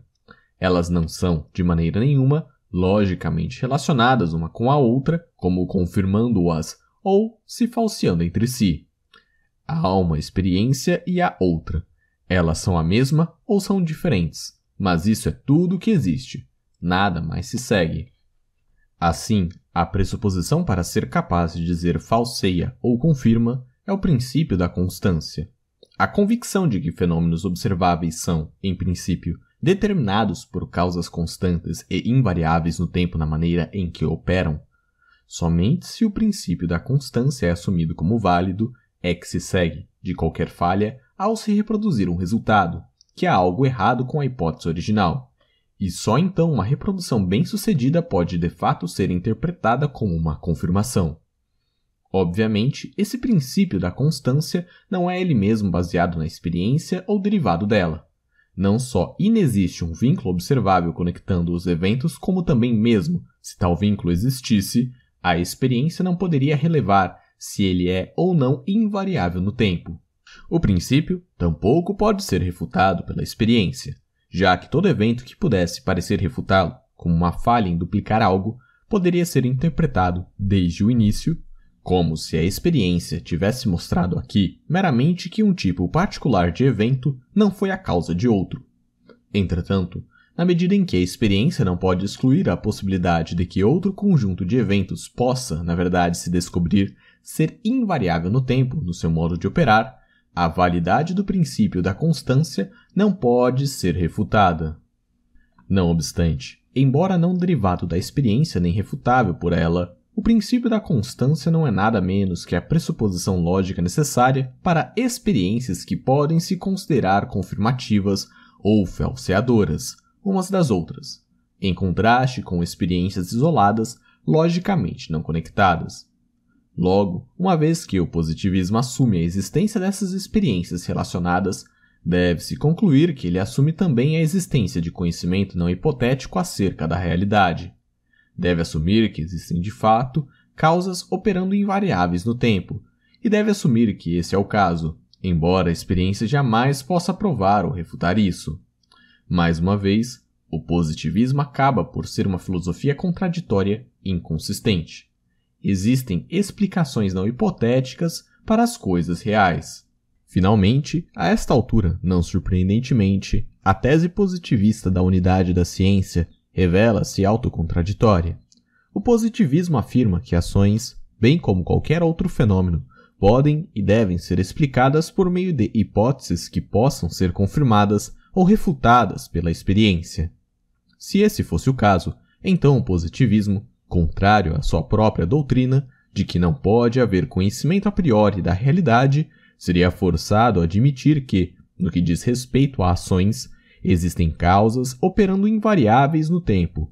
Para procedermos tal como quer o positivismo, relacionando experiências diferentes relativas à sequência de eventos, como confirmando-se ou se falseando, uma constância ao longo do tempo na operação das causas deve ser pressuposta, como já foi explicado.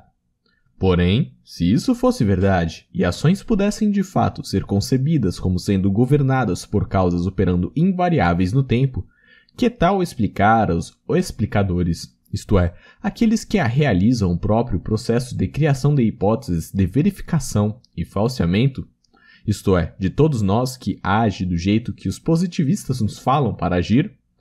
Evidentemente, para fazer isso tudo, assimilar experiências confirmativas ou falseadoras substituir hipóteses velhas por novas, deve-se assumidamente ser capaz de aprender.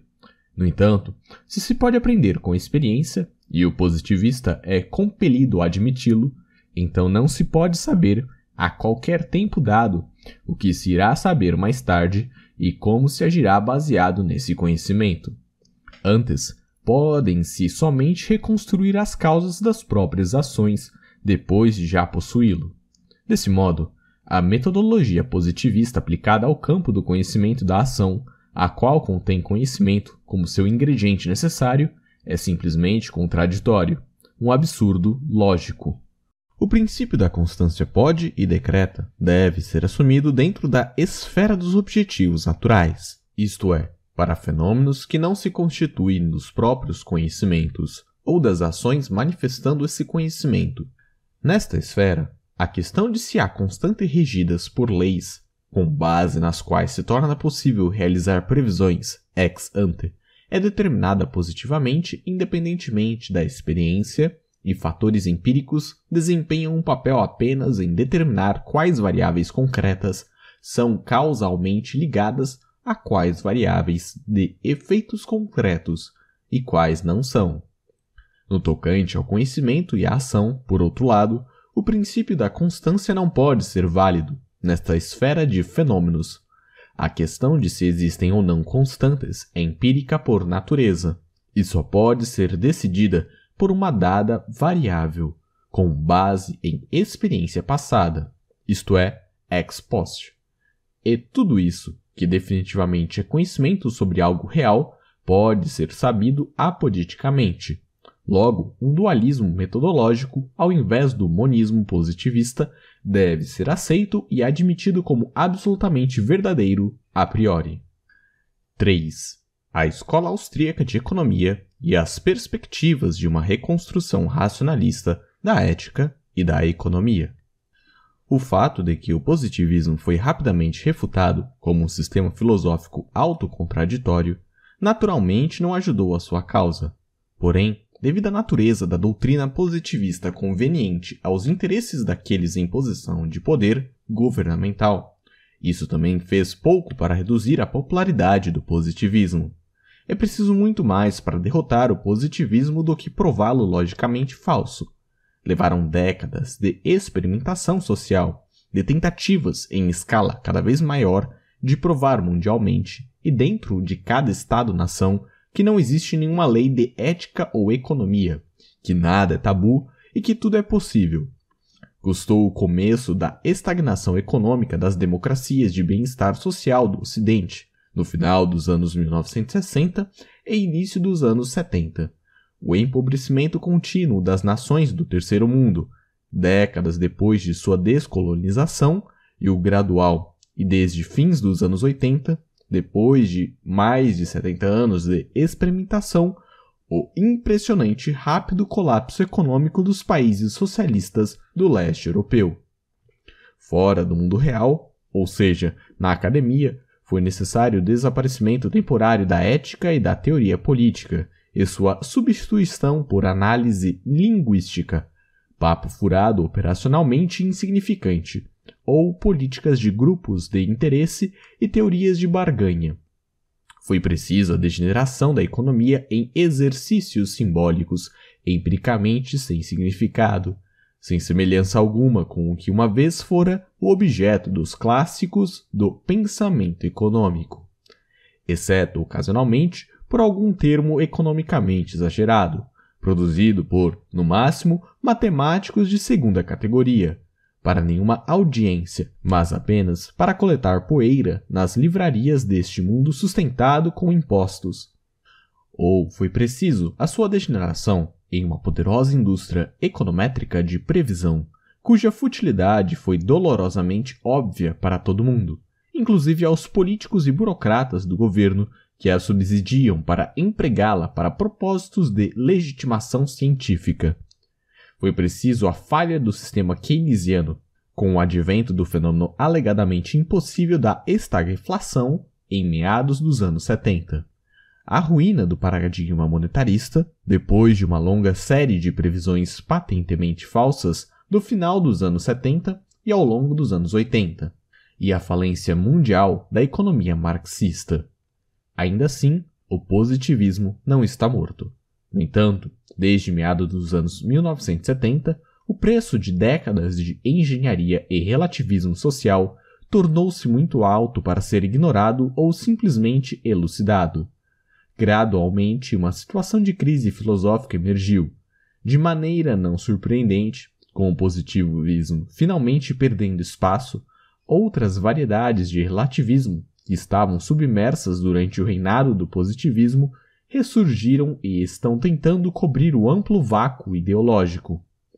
Associado a nomes tais como hermenêutica, retórica, ultrasubjetivismo e desconstrucionismo, um movimento acadêmico inferior está a caminho tentando reviver a velha mensagem do niilismo, de que não existe tal coisa como verdade, e atribuindo o fracasso do positivismo não ao seu relativismo, mas ao fato de que ele não é relativista o bastante, por continuar permitindo verdades empíricas, hipotéticas, ao invés de verdade nenhum.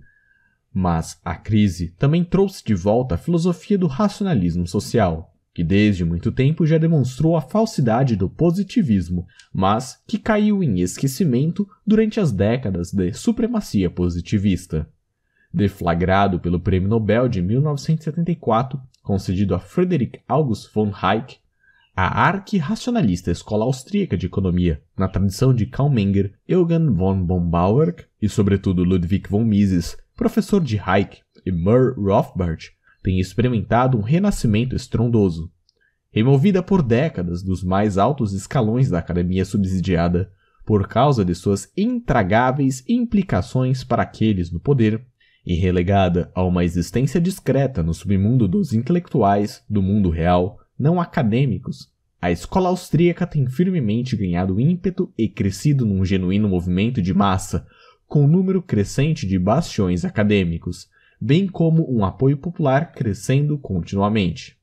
De fato, encabeçado por Ludwig von Mises Institute, fundado em meados dos anos 80, o movimento tomou uma dimensão internacional, com uma renascença de Mises rapidamente propagada entre círculos de intelectuais em países da Europa Oriental.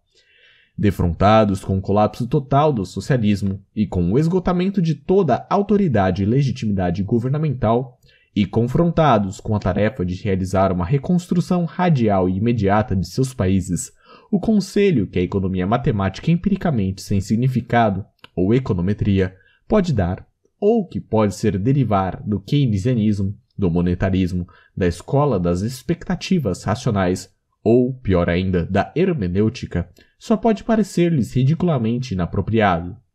Na sua situação de emergência, somente a escola austríaca oferece uma resposta inequívoca, radical e construtiva. Não só existem verdades nas ciências sociais, como também verdades a priori, não hipotéticas, às quais ninguém é capaz de se desfazer. A verdade é tão simples quanto fundamental. A propriedade privada e os direitos de propriedade privada são um princípio absoluto da ética, incontestavelmente válido, e são a base para um contínuo progresso econômico ótimo. E, para emergir das ruínas do socialismo, Nada será suficiente senão uma intransigente privatização de toda e cada propriedade, e o retorno a uma sociedade contratual baseada no reconhecimento do absolutivismo dos direitos de propriedade privada. Com efeito, a escola austríaca representa a mais ambiciosa de todas as formas do racionalismo social, com suas afirmações inflexíveis de que existe conhecimento empírico a priori não hipotético no campo das ciências sociais e de que é a ética e a economia, as quais contêm tal conhecimento que são análogos à lógica e à protofísica, enquanto fundação absolutamente imprescindível de toda pesquisa social empírica. Ademais, a escola austríaca sozinha substanciou essas afirmações oferecendo uma teoria positiva completamente desenvolvida, consistente e abrangente da ética e da economia. Indiretamente, a afirmação básica do austrianismo já foi estabelecida. Durante a supracitada refutação do positivismo, foi demonstrado que, enquanto conhecimento e ações não podem ser concebidos como causados, isto é, previsíveis com base em variáveis de efeitos operando invariavelmente no tempo, toda ação, em virtude de tentar obter algum objetivo dado, pressupõe uma realidade causalmente estruturada. Por óbvio, esse insight mesmo representa um exemplo perfeito de possibilidade de conhecimento social não hipotético. Ele enuncia conhecimento acerca de ações o qual nenhum agente poderia descobrir ser falso, porque uma tal descoberta iria, na realidade, pressupor sua validade. O austrianismo, na verdade, meramente afirma que existe muito mais do que isso implicado no nosso conhecimento adquirido reflexivelmente sobre o que é agir, o qual nenhum agente, portanto, pode falsear. A teoria austríaca se estabelece a partir de dois axiomas sistematicamente interrelacionados, ambos verdadeiros de maneira não hipotética. O primeiro é o axioma da ação, a proposição de que humanos agem, ou mais precisamente de que eu estou agindo agora. Não se pode negar que essa proposição é verdadeira, uma vez que a negação seria ela mesma uma ação. Tampouco alguém pode intencionalmente não agir, porque isso também seria uma ação. Portanto, a verdade do axioma literalmente não pode ser desfeita. O segundo axioma é o a priori da argumentação, o que temos feito aqui o tempo todo. Eu, ao escrever este estudo, e o leitor ao lê-lo, foi nos engajarmos em argumentação. Se não fosse pela argumentação, não haveria nenhum debate sobre a verdade ou falsidade do relativismo ou racionalismo social, sobre o status da ética e da economia. haveria apenas silêncio ou barulho sem significado. Somente com a argumentação emerge a ideia de validade e verdade.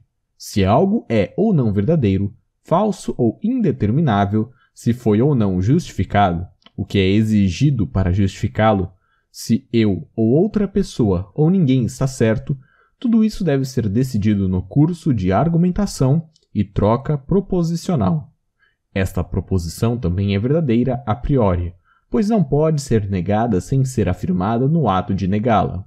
Não se pode argumentar que não se pode argumentar, e não se pode contestar saber o que significa levantar uma reivindicação de validade sem pelo menos reivindicar implicitamente que a negação dessa proposição é verdadeira.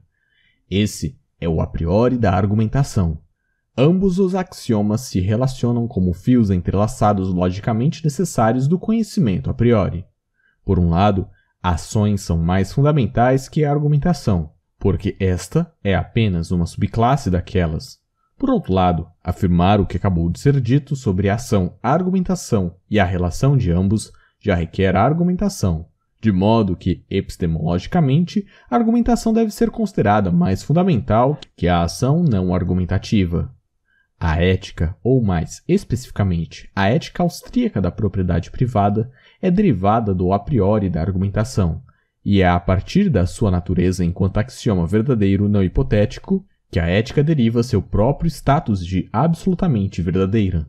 Com o a priori da argumentação estabelecido como um ponto de partida axiomático da epistemologia, segue-se que tudo que deve ser pressuposto no ato de criar proposições não pode ser proposicionalmente contestado de novo. Seria sem sentido pedir uma justificação de pressupostos que tornam possível a produção de proposições significativas em primeiro lugar. Em vez disso, eles devem ser considerados como definitivamente justificados por todo criador de proposições.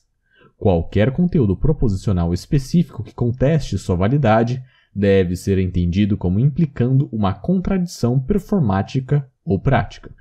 Além disso, da mesma forma que é inegavelmente verdadeiro que não se pode argumentar que não se pode argumentar, e que se deve assumir que todos engajados em argumentação devem saber o que significa reivindicar que algo é verdadeiro, também é verdade que todo argumento requer uma pessoa argumentando, um agente. Argumentar nunca consiste apenas em proposições flutuando livremente, mas é sempre uma atividade também dado que reivindicações de verdade devem se levantar e decidir no curso da argumentação, e que a argumentação, afora o que seja dito em seu discurso, é também uma atividade. Segue-se que devem existir normas intersubjetivamente significativas. Essas normas são precisamente aquelas que fazem de uma ação uma argumentação, e elas possuem um status cognitivo especial na medida em que são as pré-condições práticas da verdade. De fato, nem a dicotomia fato-empírica valor cognitivo, tão querida aos positivistas, nem sua distinção das afirmações em empíricas e analíticas poderiam se alegar verdadeiras a menos que as normas subjacentes à argumentação, no curso da qual tais distinções são feitas, fossem elas mesmas tidas como válidas. É simplesmente impossível argumentar em contrário, porquanto, ao fazê-lo, se estaria, com efeito, pressupondo sua validade. Agora, enquanto atividade necessariamente prática, todo intercâmbio proposicional requer o controle exclusivo, propriedade, do criador de proposições sobre alguns meios escassos. Ninguém poderia propor nada, ninguém poderia se convencer de nenhuma proposição se o direito de fazer uso exclusivo do próprio corpo físico já não fosse pressuposto. É o reconhecimento do controle mutuamente exclusivo do outro sobre seu corpo que explica a característica distinta das trocas proposicionais de que, enquanto se pode discordar sobre o que foi dito, é ainda possível concordar pelo menos sobre o fato de que existe discordância. É óbvio também que tal direito de propriedade sobre o próprio corpo deve-se dizer justificado a priori, pois qualquer pessoa que tente justificar qualquer norma já deve pressupor um direito exclusivo de controle sobre seu corpo para dizer eu proponho isso e aquilo. Qualquer pessoa contestando tal direito ficaria presa numa contradição prática, uma vez que, ao argumentar nesse sentido, já teria aceitado implicitamente a própria norma que está contestando. Finalmente, seria igualmente impossível engajar-se em argumentação se não fosse permitido, em adição, apropriar para o próprio corpo outros meios escassos através da apropriação original, homesteading, isto é, colocando-os em uso antes que outra pessoa o faça, ou se esses meios não fossem definidos em termos físicos objetivos.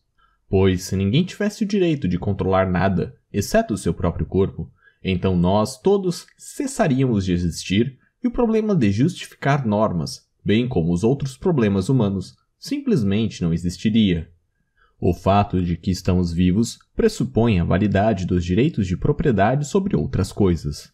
Ninguém que esteja vivo poderia argumentar em contrário.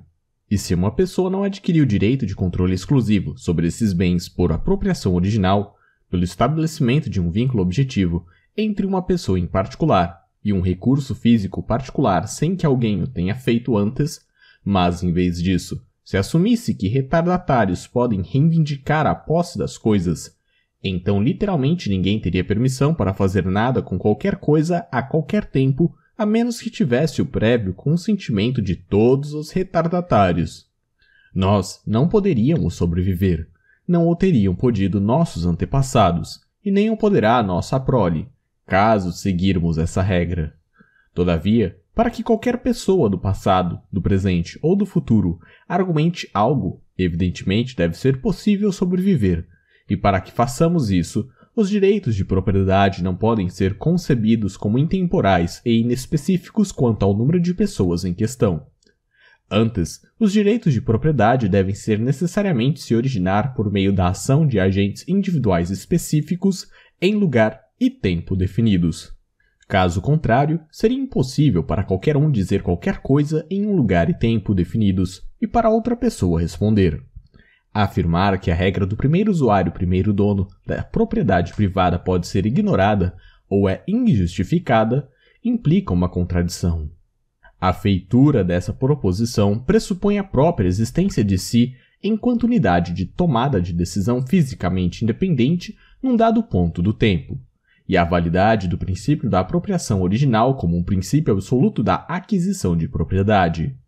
A economia, ou, na terminologia de Mises, a praxeologia e seu status como ciência social não hipotética verdadeira a priori, são derivados do axioma da ação. Em toda ação, um agente busca um objetivo e qualquer que seja seu objetivo, o fato de que é visado por um agente revela que ele deposita um valor relativamente maior nesse do que em qualquer outro objetivo que ele pudesse conceber no início da sua ação. Para atingir seu objetivo, um agente deve interferir ou decidir não interferir, o que também é uma interferência, em um ponto anterior do tempo para produzir um resultado posterior. E essa interferência implica o uso de alguns meios escassos, pelo menos o corpo do agente, o espaço em que se encontra e o tempo utilizado pela interferência. Esses meios devem também ter um valor para o agente, um valor derivado do valor do objetivo, porque o agente deve considerar seu emprego necessário para alcançar efetivamente o objetivo. Além disso, ações só podem ser realizadas sequencialmente e sempre envolvem fazer uma escolha, isto é, tomar um curso de ação que, em algum ponto, dado no tempo, promete o resultado mais altamente valorizado pelo agente e excluir, ao mesmo tempo, a busca de outros objetivos menos valorizados. Em adição, quando está agindo, um agente não apenas deseja invariavelmente substituir um estado de coisas menos satisfatório por um mais satisfatório e demonstra uma preferência por valores maiores frente aos menores. Ele também considera, invariavelmente, quando seus objetivos serão atingidos no futuro e demonstra uma preferência universal por resultados mais adiantados. Uma vez que toda ação requer tempo e o homem deve ocasionalmente consumir algo, o tempo é sempre escasso. Logo, resultados presentes e mais adiantados serão e invariavelmente devem ser mais altamente valorados do que os futuros e mais atrasados, e o homem somente irá trocar um valor presente por um futuro, se ele esperar dessa maneira aumentar seu bem-estar futuro.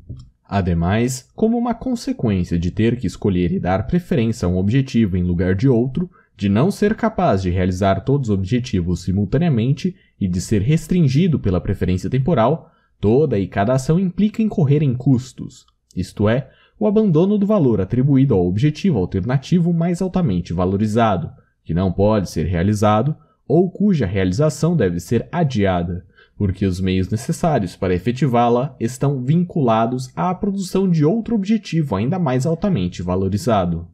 Finalmente, está implicado em nosso conhecimento sobre o que é uma ação que, no seu ponto de partida, todo objetivo de ação deve ser considerado mais valioso para a gente do que seu custo e capaz de render um lucro, isto é, um resultado cujo valor é classificado como maior do que o das oportunidades abandonadas. No entanto, toda a ação é também invariavelmente ameaçada pela possibilidade de prejuízo se, em retrospecto, um agente acha que, ao contrário das expectativas, o resultado efetivamente atingido tem um valor menor do que o teria a alternativa renunciada. Todas essas categorias que sabemos ser o coração mesmo da economia valores, meios, escolha, preferência, preferência temporal, custo, lucro e prejuízo estão implicadas no axioma da ação. Assim como o próprio axioma, elas incorporam conhecimento verdadeiro não hipotético, Qualquer tentativa de refutar esse conhecimento teria de ser, ela mesma, uma ação, visando a um objetivo, exigindo meios, excluindo outros cursos de ação, incorrendo em custos, submetendo o agente à possibilidade de atingir ou não o fim desejado e levando então a um lucro ou prejuízo. Todas as proposições econômicas verdadeiras, e é disso que se trata o conceito austríaco de economia, podem ser deduzidas por meio da lógica formal a partir desse conhecimento material incontestavelmente verdadeiro quanto ao significado da ação e suas categorias, que resultam para um agente de sua situação ou mudança situacional. Por exemplo, a lei da utilidade marginal, uma das mais básicas leis econômicas, segue-se do nosso incontestável conhecimento do fato de que todo agente sempre prefere o que o satisfaz mais ao que o satisfaz menos, somado à assunção de que ele é confrontado por um aumento no suprimento de um bem, um meio escasso, cujas unidades ele considera de serventia igual à de uma unidade adicional. Disso se segue com necessidade lógica que essa unidade adicional só pode ser empregada como meio para remover um incômodo julgado menos urgente do que o objetivo menos valorizado previamente satisfeito por uma unidade desse bem. A combinação da ética, como está implicada no axioma da argumentação com a economia, como implicada no axioma da ação, produz o que pode ser chamado economia austríaca de bem-estar. Se, e na medida em que agentes escolhem agir de acordo com o princípio incontestavelmente válido da ética da propriedade privada, o bem-estar social, definido em termos do ótimo de Pareto, será invariavelmente otimizado. A apropriação original de uma pessoa sobre recursos sem dono como demonstrado por essa mesma ação, aumenta sua utilidade ou bem-estar, pelo menos ex ante. Ao mesmo tempo, ela não deixa ninguém em situação pior, porque ao apropriá-los, ele não tira nada de outras pessoas. Obviamente, outras pessoas também poderiam ter apropriado esses recursos, apenas se os tivessem percebido como escassos, e por isso valiosos. No entanto, eles não fizeram, o que demonstra que elas não lhes vinculavam nenhum valor e desse modo não se pode dizer que elas perderam alguma utilidade por causa dessa ação. Procedendo a partir dessa base, qualquer posterior ato de produção utilizando recursos apropriados originalmente é outro sim, Pareto ótimo, em termos de preferência demonstrada, contando apenas que isso não agrida de maneira não solicitada a integridade física dos recursos apropriados ou produzidos originalmente por outros. Por fim, Toda troca voluntária partindo dessa base também se deve considerar uma mudança Pareto ótima, porque só pode ocorrer se ambas as partes esperam se beneficiar dela. Operar conforme as regras descritas sempre e invariavelmente levará à maior produção de riqueza possível, pois qualquer desvio desse conjunto de regras implica, por definição, uma redistribuição de títulos de propriedade e, portanto, de renda, de usuários produtores e contratantes de bens para não usuários produtores e não contratantes. Em consequência, todo desvio desse tempo implica que haverá relativamente menos apropriação original de recursos cuja escassez seja reconhecida. Haverá menos produção de novos bens, menos manutenção dos bens existentes e menos trocas e contratações mutualmente benéficas. Isso, por sua vez, implica em um padrão de vida mais baixo em termos de bens e serviços intercambiáveis. Além disso, a condição de que somente a integridade física da propriedade e não seus valores está protegida garante que todo proprietário empreenderá os maiores esforços produtores de valor para promover mudanças favoráveis nos valores de propriedade e prevenir ou combater quaisquer mudanças desfavoráveis nos valores da propriedades, como as que podem resultar de ações de outra pessoa sobre sua propriedade. Portanto, qualquer desvio dessa regra também implica níveis reduzidos de esforços produtores de valor em todos os tempos. A simplicidade radical dessa teoria austríaca da ética da economia, na verdade, o fato de que ela foi totalmente elaborada, primeiramente no memorável Ação Humana de Ludwig von Mises, no Man, Economy and State e no A Ética da Liberdade, ambos de Murray Rothbard, para formar um edifício rigorosamente consistente, bem como arquitetonicamente belo, de pensamento ético e econômico.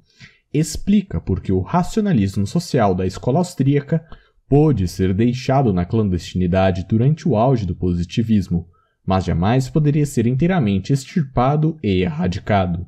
Sua verdade é óbvia demais para ser ignorada consistentemente entre homens de curiosidade intelectual, e bom senso, pois não é natural que cada pessoa deveria possuir seu próprio corpo, assim como todos os bens escassos que coloque em uso com a ajuda de seu próprio corpo antes que outra pessoa o faça? Não é óbvio que todo proprietário deveria ter o direito de empregar esses bens como ele achar cabível, desde que, ao fazê-lo, ele não altere de maneira não convidada a integridade física da propriedade de outra pessoa? Não é óbvio, uma vez que um bem foi apropriado ou produzido originalmente, que então a propriedade sobre ele só pode ser adquirida por meio de uma transferência contratual voluntária, de título de propriedade de um dono prévio para um dono posterior?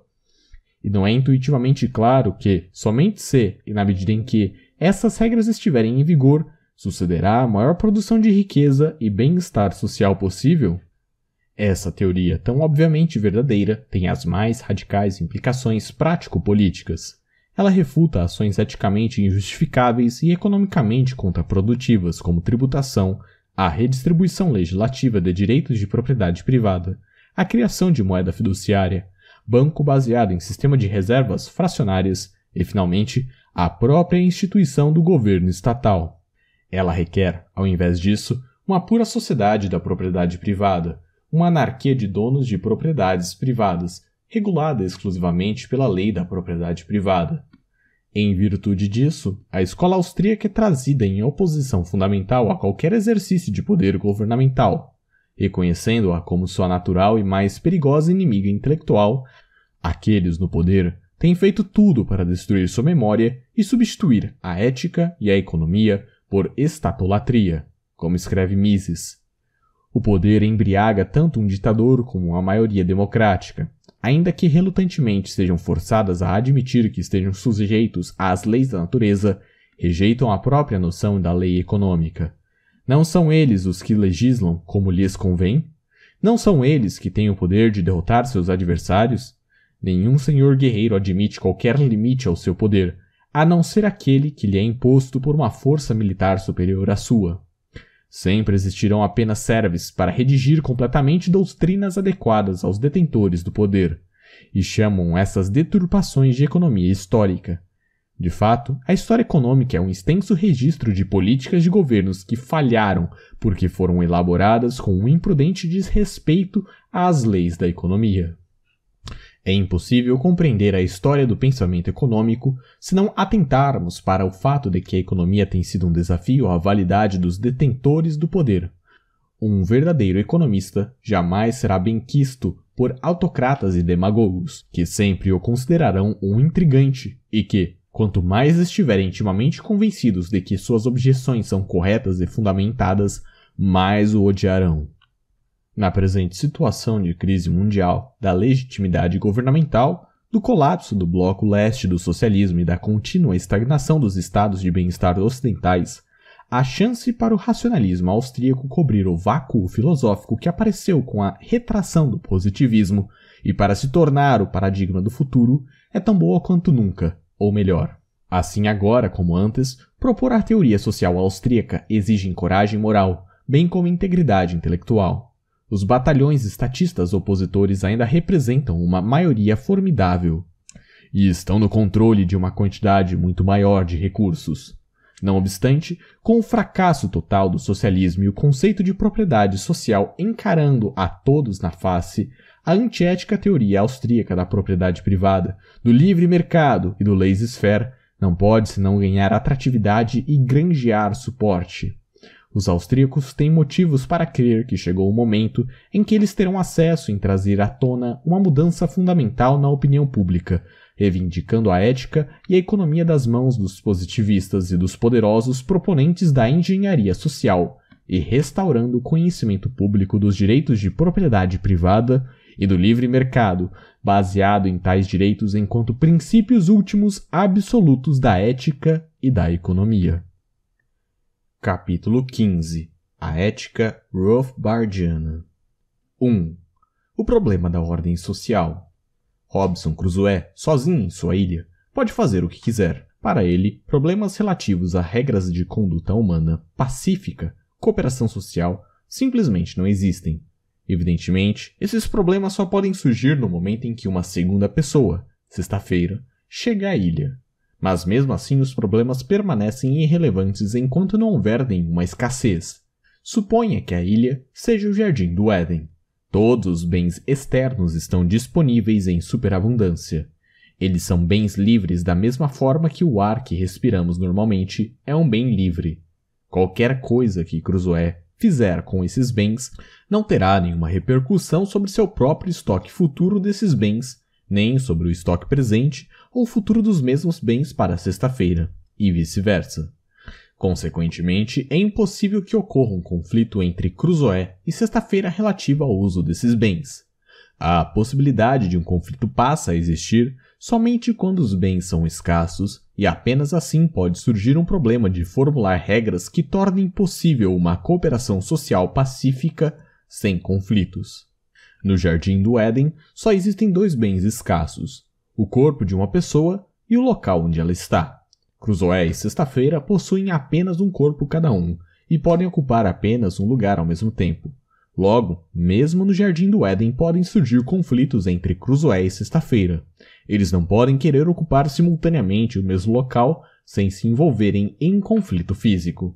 Assim sendo, até mesmo no Jardim do Éden devem existir regras de conduta social pacífica, regras relativas ao posicionamento e movimento apropriado dos corpos humanos.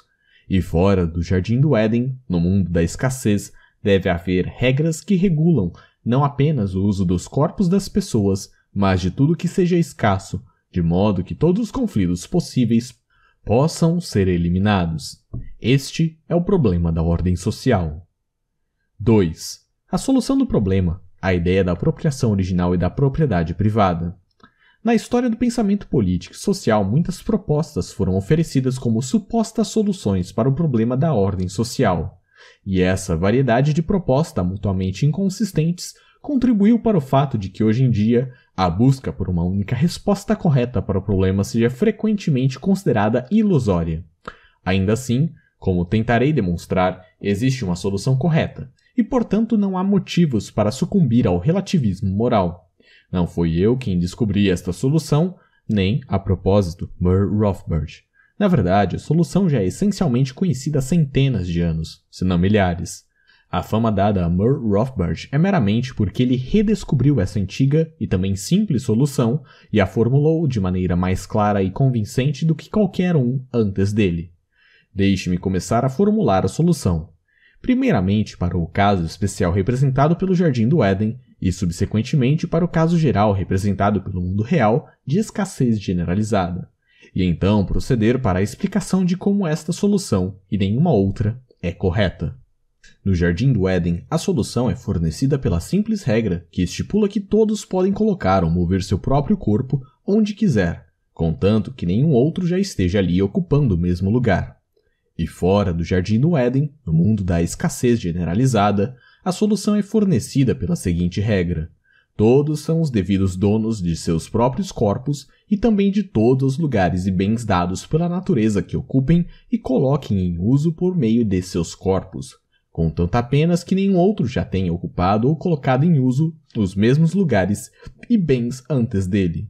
Essa propriedade de lugares e bens originalmente apropriados por uma pessoa implica seu direito de usar e transformar esses lugares e bens da maneira que ela achar apropriada, contanto que com isso ela não altere sem permissão a integridade física de lugares ou bens originalmente apropriados por outra pessoa. Em particular, uma vez que um lugar ou bem tenha sido primeiramente apropriado através da, nas palavras de John Locke, mistura do próprio trabalho com eles, a propriedade sobre esses lugares e bens pode ser adquirida somente através de uma transferência voluntária, contratual, de seu título de propriedade de um dono anterior para um posterior. Considerando o predominante relativismo moral, vale a pena ressaltar que essa ideia de apropriação original e propriedade privada como uma solução ao problema da ordem social está em pleno acordo com nossa intuição moral. Seria por acaso um absurdo afirmar que uma pessoa não deveria ser a devida dona de seu corpo e dos lugares e bens que ela originalmente, isto é, antes de qualquer outra pessoa se apropria, usa e ou produz por meio de seu corpo? Pois quem mais, se não ela, deveria ser sua dona? E não é também óbvio que a esmagadora maioria das pessoas, incluindo crianças e homens primitivos, de fato agem conforme essas regras e o fazem sem questionar e de forma natural? Uma intuição moral, por mais importante que seja, não é uma prova, no entanto, existe prova de que nossa intuição moral está correta. A prova pode ser apresentada em duas etapas. Por um lado, explicando claramente as consequências que se seguem caso alguém fosse negar a validade da instituição da apropriação original e da propriedade privada.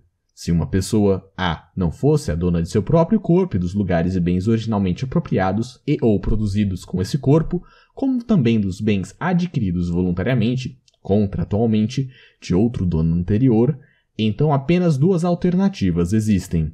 Ou outra pessoa, B, deve ser reconhecida como a dona do corpo de A, bem como dos lugares e dos bens apropriados produzidos ou adquiridos por A, ou todas as pessoas A e B devem ser consideradas coproprietárias iguais de todos os corpos, lugares e bens.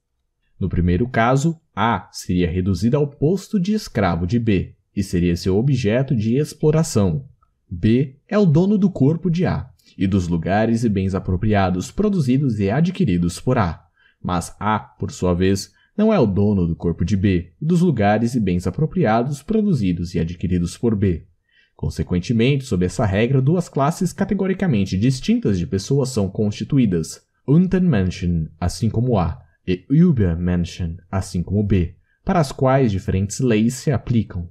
Assim sendo, tal regra deve ser descartada por não ser uma ética humana igualmente aplicável a todos qua seres humanos, animal racional. Logo de cara, pode-se perceber que qualquer regra desse tipo não é universalmente aceitável e, portanto, não pode reivindicar representar a lei. Porque para uma regra ser considerada uma lei, uma regra justa, é necessário que esta regra se aplique igual e universalmente a todos. Alternativamente, no segundo caso de copropriedade igual e universal, o requerimento de lei igual para todos é cumprido. No entanto, essa alternativa sofre de outra deficiência ainda mais severa, porque se ela fosse aplicada, toda a raça humana iria perecer instantaneamente.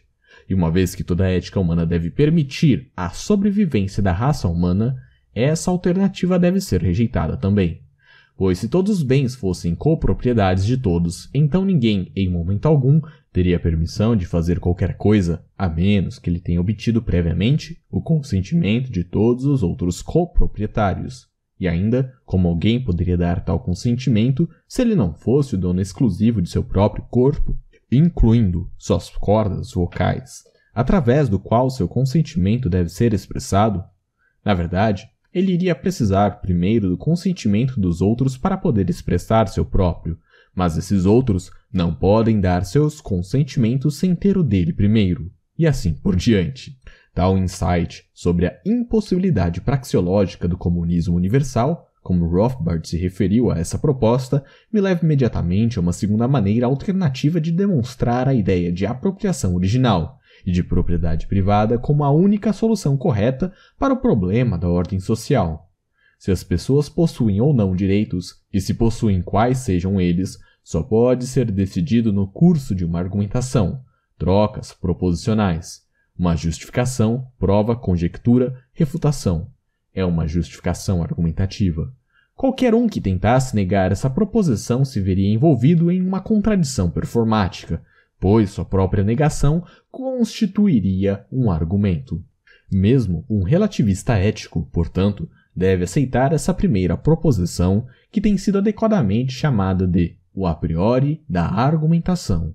Da aceitação inegável, o status axiomado desse a priori da argumentação, duas conclusões sucessivas igualmente necessárias se seguem. A primeira deriva-se do a priori da argumentação quando não existe solução racional para o problema de conflitos, que surgem a partir da existência da escassez. Suponha que, naquela situação que descrevi de Cruzoé sexta-feira, sexta-feira não fosse o nome de um homem, mas sim de um gorila. Obviamente, do mesmo modo que Cruzoé pode entrar em conflitos relativos a seu corpo e o lugar em que ele se encontra com o homem sexta-feira, ele também pode com o gorila sexta-feira. O gorila pode tentar ocupar o mesmo espaço que Cruzoé já ocupa. Nesse caso, contanto que o gorila seja o tipo de criatura que conhecemos como gorila, de fato não existe nenhuma solução racional para o conflito deles. Ou o gorila vence e devora, esmaga ou expulsa Cruzoé do local, esta é a solução do gorila para o problema, ou Cruzoé vence e mata, bate, expulsa ou doma o gorila. Esta é a solução de Cruzoé. Nessa situação é de fato possível se falar em relativismo moral, assim como fez Alasdair MacIntyre, um proeminente filósofo da vertente relativista. É possível fazer coro a ele na questão título de um de seus livros, Justiça de quem? Qual a racionalidade? De Cruzoé ou do gorila? Dependendo de qual lado se escolha, a resposta será diferente. No entanto, é mais apropriado se referir a essa situação como sendo uma em que a questão da justiça e da racionalidade simplesmente não surge, ou seja, como uma situação extramoral. A existência do gorila sexta-feira simplesmente configura um problema técnico para Cruzoé, não um problema moral. Cruzoé não tem outra escolha a não ser aprender como conseguir administrar e controlar os movimentos do gorila, do mesmo modo que ele tem que aprender a administrar e controlar objetos inanimados de seu ambiente. Por consequência, somente se as duas partes de um conflito forem capazes de argumentar entre si, é possível se falar em um problema moral, e passa a existir a questão de poder haver ou não uma solução significativa. Somente se sexta-feira, independentemente de sua aparência física, isto é, se ele parece um homem ou um gorila, for capaz de argumentar mesmo que ele tenha mostrado ser capaz apenas uma vez, ele pode ser considerado racional e a questão de existir ou não uma solução correta para o problema da ordem social passa a fazer sentido. Não se pode esperar que seja dada uma resposta. Na verdade, qualquer resposta a alguém que jamais fez uma pergunta, ou, mais precisamente, que jamais tenha expressado sua própria opinião relativista na forma de um argumento, nesse caso esse outro só pode ser considerado e tratado como um animal ou uma planta, isto é, como uma entidade extramoral. Somente se essa outra entidade puder, em princípio, interromper sua atividade, seja ela qual for, recuar e responder sim, sim ou não a algo que alguém tenha dito, é que nós devemos uma resposta a essa entidade. E, conforme for, temos a possibilidade de reivindicar que nossa resposta seja correta para as duas partes envolvidas em um conflito. Além disso, positivamente o que também se segue do a priori da argumentação é que tudo aquilo que deve ser pressuposto no curso de uma argumentação, como pré-condições lógicas e praxeológicas da argumentação, não pode, por sua vez, ter sua validade argumentativamente contestada sem envolver, por conta disso, uma contradição interna, performativa. Todavia, trocas proposicionais não são constituídas por proposições flutuando sozinhas pelo ar, mas antes constituem atividades humanas específicas. A argumentação entre Cruzoé e Sexta-feira requer que ambos possuam controle exclusivo sobre seus respectivos corpos, seus cérebros, cordas vocais e etc., bem como sobre os lugares ocupados por seus corpos e que se reconheçam mutuamente como tais. Ninguém poderia propor alguma coisa e esperar que a outra parte se convença sobre a validade de sua proposição, ou então a negue e proponha outra coisa, a não ser que o direito de controle exclusivo dele e de seu oponente sobre seus respectivos corpos e locais já fosse pressuposto e assumido como válido. Na verdade, é precisamente esse reconhecimento mútuo da propriedade do proponente e também do seu oponente sobre seus próprios corpos e locais que constituem o característico específico de toda disputa proposicional. Que, embora se possa não concordar com a validade de alguma proposição específica, pode-se ainda concordar com o fato de que se está discordando. Além disso, o direito de propriedade sobre o próprio corpo e lugar que esteja deve ser considerado justificado a priori, ou indiscutivelmente pelo proponente e igualmente pelo oponente, pois quaisquer um que queira reivindicar a validade de alguma proposição vis-à-vis um oponente já terá que pressupor os procontroles exclusivos dele e de seu oponente sobre seus respectivos corpos e lugares apenas para dizer eu reivindico que isto e aquilo são verdadeiros e duvido que você prove que eu esteja errado. Além do mais, seria igualmente impossível se envolver em uma argumentação e contar com a força proposicional de seu argumento se não fosse permitido que você possuísse, controlasse exclusivamente outros meios escassos, além do seu próprio corpo e do local em que se encontra. Pois se não possuíssemos esses direitos, então todos nós iríamos morrer e o problema de se justificar regras, bem como todos os outros problemas humanos, simplesmente não existiria. Portanto, em virtude do fato de se estar vivo, direitos de propriedade sobre outras coisas também devem ser pressupostos como válidos. Ninguém que está vivo poderia argumentar o contrário. E se não fosse permitido que uma pessoa adquirisse propriedade sobre esses bens e espaços por meio de um ato de apropriação original, isto é, estabelecendo um elo objetivo intersubjetivamente averiguável, entre ele e um bem e ou espaço específicos antes de qualquer outra pessoa.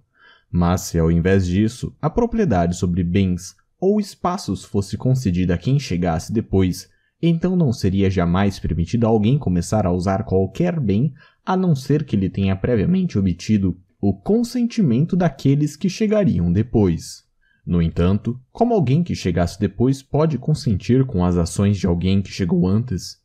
Além disso, todos os que chegassem depois, por sua vez, precisariam do consentimento dos que chegariam ainda depois deles, e assim por diante. Ou seja, nem nós, nem nossos antepassados ou nossa prole teriam conseguido ou conseguiriam sobreviver se essa regra fosse seguida. Porém, para que uma pessoa passada, presente ou futura argumente qualquer coisa, ela deve, obviamente, ser capaz de sobreviver aqui e agora. E para fazer isso, direitos de propriedade não podem ser concedidos como sendo atemporais e inespecíficos em relação ao número de pessoas envolvidas. Mais precisamente, direitos de propriedades devem ser concebidos como originados de ações em pontos específicos no tempo e no espaço, por indivíduos específicos. Senão, seria impossível que qualquer pessoa dissesse qualquer coisa em um ponto e espaço específicos, e que qualquer outra pessoa pudesse responder. Então, simplesmente dizer que a regra do primeiro usuário primeiro proprietário da ética da propriedade privada pode ser ignorada ou que é injustificável implica uma contradição performática, na medida em que o fato de alguém ser capaz de dizer isso deve pressupor a existência desse alguém como uma unidade tomadora de decisões independentemente em um dado ponto do tempo e do espaço. 3. Solução simples, conclusões radicais anarquia e Estado. De tão simples que é a solução do problema da ordem social e de tanto que as pessoas, no seu dia a dia, intuitivamente reconhecem e agem de acordo com a ética da propriedade privada que acaba de ser explicada, esta solução simples e complacente acaba implicando algumas conclusões surpreendentemente radicais, pois, além de rejeitar, por serem injustificáveis, atividades como assassinato, homicídio, estupro, invasão, roubo, assalto, arrombamento e fraude, a ética da propriedade privada também é incompatível com a existência de um Estado, definido como uma agência que possui um monopólio territorial compulsório da tomada suprema de decisões, jurisdição e ou o direito de cobrar impostos. A teoria política clássica, ao menos a partir de Hobbes, enxergou o Estado como a própria instituição responsável pelo cumprimento da ética da propriedade privada. Ao considerar o Estado injusto, na verdade, considerá-lo uma grande organização criminosa e chegar a conclusões anarquistas, Rothbard obviamente não negou a necessidade de se fazer cumprir a ética da propriedade privada. Ele não compartilhou a visão daqueles anarquistas ridicularizados por Mises, seu professor e mentor, que acreditavam que todas as pessoas, se apenas fossem deixadas em paz, seriam criaturas boas e pacíficas. Ao contrário, Rothbard concordou plenamente com Mises em que sempre existirão assassinos, ladrões, bandidos, vigaristas e etc., e que a vida em sociedade seria impossível se eles não fossem punidos através da força física.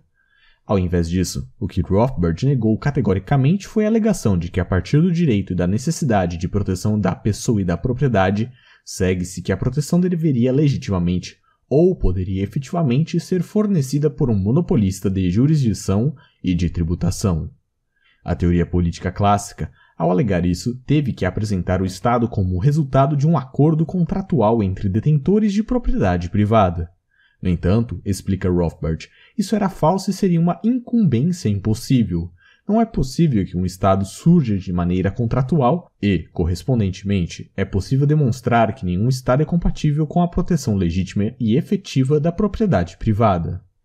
A posse de propriedade privada, como resultado de atos de apropriação original, produção ou troca realizada entre um dono anterior e um posterior, implica o direito do dono à jurisdição exclusiva sobre sua propriedade, e não é possível que um dono de propriedade privada abra mão desse direito de jurisdição suprema sobre sua propriedade e do direito de defesa física dessa propriedade e o entregue a outra pessoa, a menos que ele venda ou transfira de outra forma sua propriedade, e neste caso outra pessoa possuiria a jurisdição exclusiva sobre ela.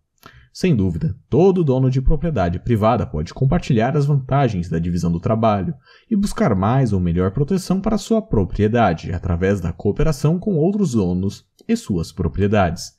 Ou seja, todo dono de propriedade privada pode comprar proteção para a propriedade, vendê-la a alguém ou celebrar um contrato com outra pessoa relativa a tal proteção. E todo dono de propriedade também pode, a qualquer hora, unilateralmente cancelar qualquer dessas cooperações com outros ou alterar suas respectivas filiações. Portanto, para que a demanda por proteção fosse satisfeita, seria certamente possível e economicamente provável que surgissem indivíduos e agências especializadas que forneceriam, por alguma taxa, proteção, seguro e serviços de arbitragem a clientes pagantes voluntários. No entanto, se é fácil conceber a origem contratual de um sistema de fornecedores de segurança concorrentes, é impossível conceber como donos de propriedade privada poderiam assinar um contrato que designe irrevogavelmente, de maneira válida para sempre, a outro agente o poder de supremo tomador de decisões relativas à sua própria pessoa e propriedade e ou o poder de tributar. Ou seja, é inconcebível como alguém poderia algum dia concordar com um contrato que permitisse que outra pessoa determinasse permanentemente o que ele pode ou não pode fazer com sua propriedade, porquanto ao fazê-lo, essa pessoa estaria efetivamente se tornando indefesa vis-à-vis a esse supremo tomador de decisões. E é igualmente inconcebível como alguém poderia concordar com um contrato que permitisse que um protetor determinasse unilateralmente, sem o consentimento do protegido, quanto o protegido deve pagar por sua proteção.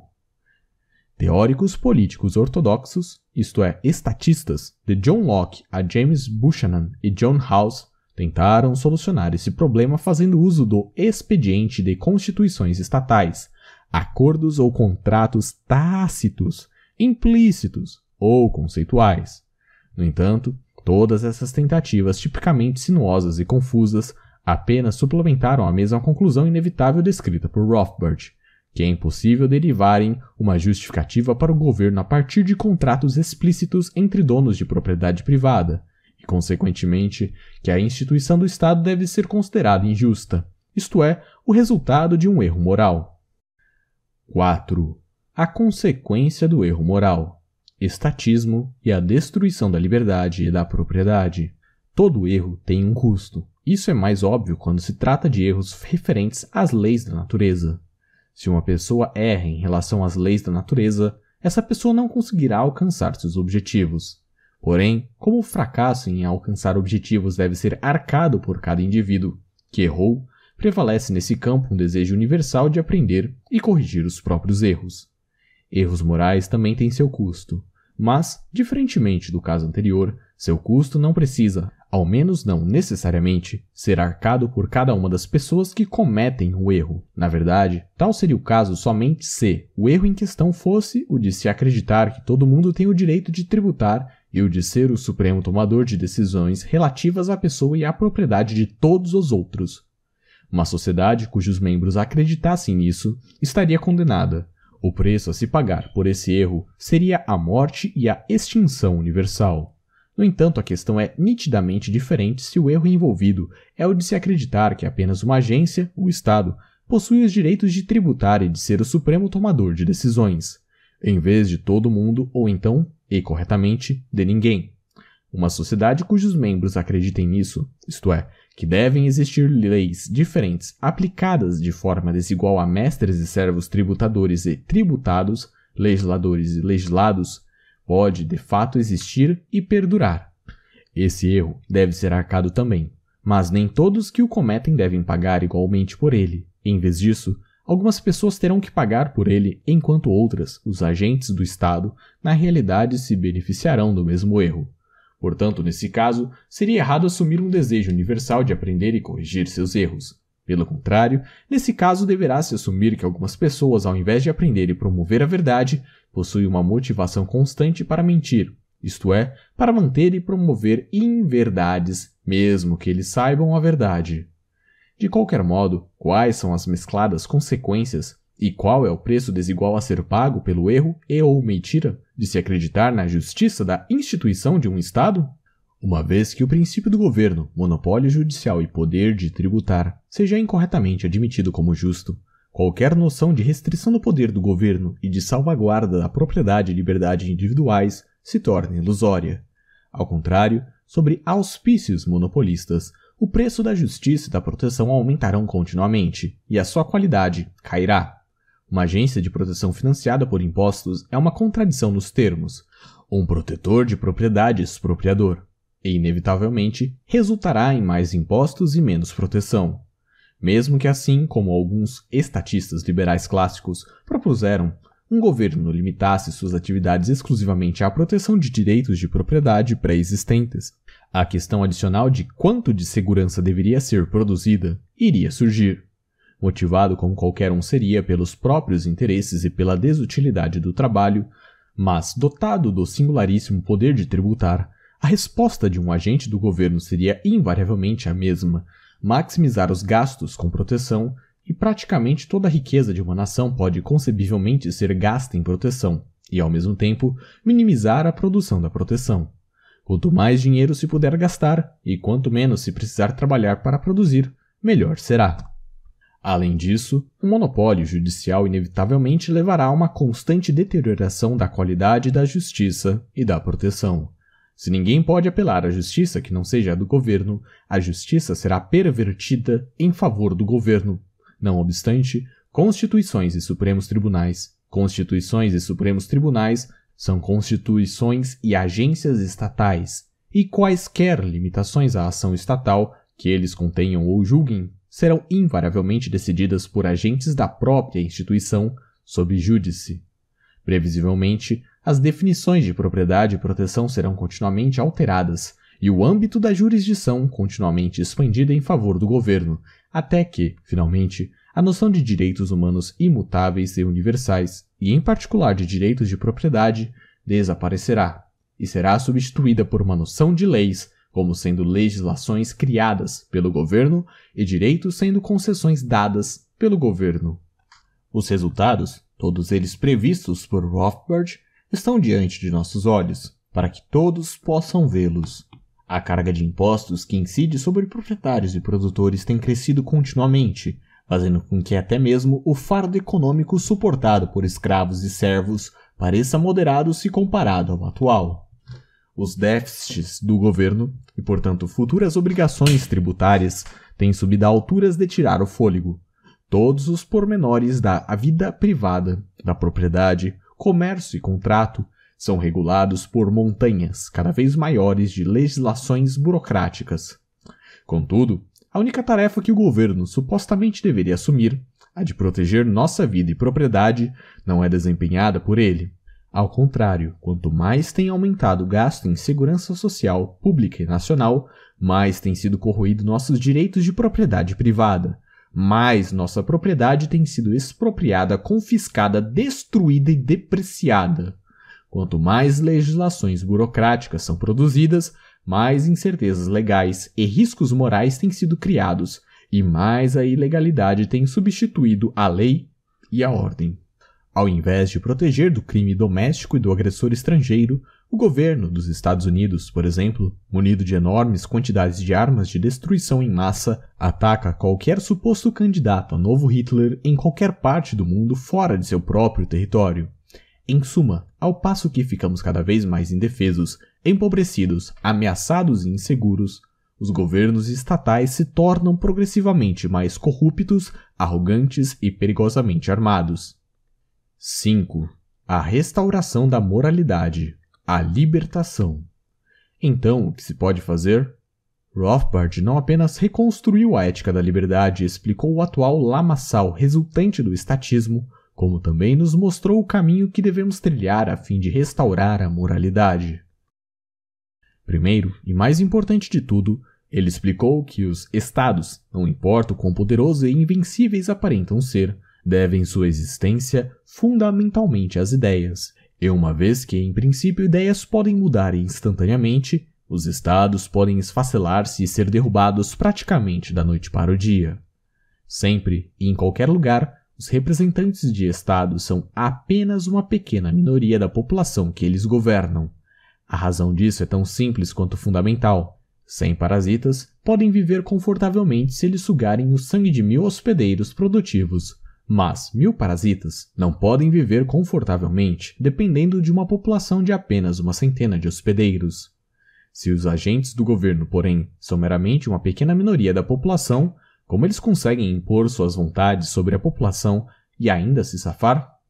A resposta dada por Rothbard e por Laboutier, Rumi e Mises antes dele é somente graças à cooperação voluntária da maioria da população subalterna com o Estado. Entretanto, como pode o Estado assegurar tal cooperação? A resposta é somente porque, e à medida em que, a maioria crê na legitimidade do poder estatal. Na verdade, ela pode muito bem acreditar que muitas das políticas estatais são erradas ou mesmo desprezíveis. Contudo, a maioria da população deve crer na justiça da instituição do Estado como tal, e, consequentemente, em que, mesmo que um governo em particular cometa erros, esses erros são meramente acidentais e devem ser aceitos e tolerados em vista de algum bem maior provido pela instituição do Estado. No entanto, como pode a maioria da população ser levada a acreditar nisso? A resposta é com a ajuda dos intelectuais. Nos tempos antigos, isso significava tentar formar uma aliança entre o Estado e a Igreja. Nos tempos modernos, e de forma muito mais efetiva, isso significa utilizar a nacionalização socialização da educação através de escolas e universidades geridas ou subsidiadas pelo Estado. A demanda que existe no mercado pelos serviços dos intelectuais, em particular na área das ciências humanas e sociais, não é exatamente alta e nem um pouco estável ou segura. Os intelectuais estariam à mercê dos valores e das escolhas das massas, e as massas geralmente não se interessam por assuntos filosóficos intelectuais. O Estado, por outro lado, aponta Rothbard, favorece seus egos tipicamente hiperinflados e está disposto a oferecer aos intelectuais um nicho seguro e permanente no seio do aparato estatal, e, consequentemente, um rendimento certo e um arsenal de prestígio. E, de fato, o Estado democrático moderno, em particular, criou uma massiva superoferta de intelectuais, esse favorecimento, logicamente, não garante ideias concretas estatistas, e por mais que eles sejam muito bem pagos, os intelectuais continuarão reclamando do quão pouco seu tão importante trabalho é reconhecido. Mas certamente, algo que ajuda a chegar às conclusões corretas é perceber que, se um Estado, a instituição da tributação e legislação, seu trabalho estaria seriamente ameaçado, e ele poderia ser obrigado a ter que sujar as mãos no trabalho braçal de frentista em vez de se preocupar com problemas prementes como alienação, desigualdade, exploração, desconstrução da diferenciação entre os sexos ou a cultura dos tupis guaranis, dos zulus e dos esquimós. E mesmo que um deles se sinta desprestigiado por este ou aquele governo constituído, ele percebe que uma ajuda só pode vir de outro governo, e certamente não de um ataque intelectual contra a legitimidade da instituição do governo como tal. Portanto, não é nada surpreendente que, constatando-se um fato empírico, a imensa maioria dos intelectuais contemporâneos é para lá de esquerdista, e que mesmo os intelectuais mais conservadores ou livre-mercadistas, por exemplo, Friedman e Hayek, são fundamental e filosoficamente estatistas. A partir dessa constatação sobre a importância das ideias e do papel dos intelectuais como protetores do Estado e do estatismo, segue-se que o papel mais importante no processo de libertação, a restauração da justiça e da moralidade, deve ser assumido por aqueles que podemos chamar de intelectuais anti-intelectuais. No entanto, fica a pergunta: como esses intelectuais anti-intelectuais podem ter êxito em deslegitimar o Estado perante a opinião pública se considerarmos que a esmagadora maioria de seus colegas é formada por estatistas, que farão de tudo para isolá-los e desacreditá-los, taxando-os de extremistas e malucos. O espaço aqui me permite fazer apenas breves comentários sobre essa questão, que é fundamental. Primeiro, dado que será necessário enfrentar a oposição cruel e maliciosa de seus colegas para que o indivíduo possa resistir e não se deixar abater, é de máxima importância não basear sua posição no utilitarismo e na ciência econômica, e sim em argumentos de ordem ética e moral, pois somente convicções morais provém a força e a coragem necessária para uma batalha intelectual e ideológica. Poucos se sentem inspirados ou se dispõem a aceitar sacrifícios quando estão se opondo a coisas que consideram ser meros erros ou superficialidades. Por outro lado, inspiração e coragem podem ser obtidas em grande dose se se souber que se está lutando contra o mal e combatendo mentiras perversas.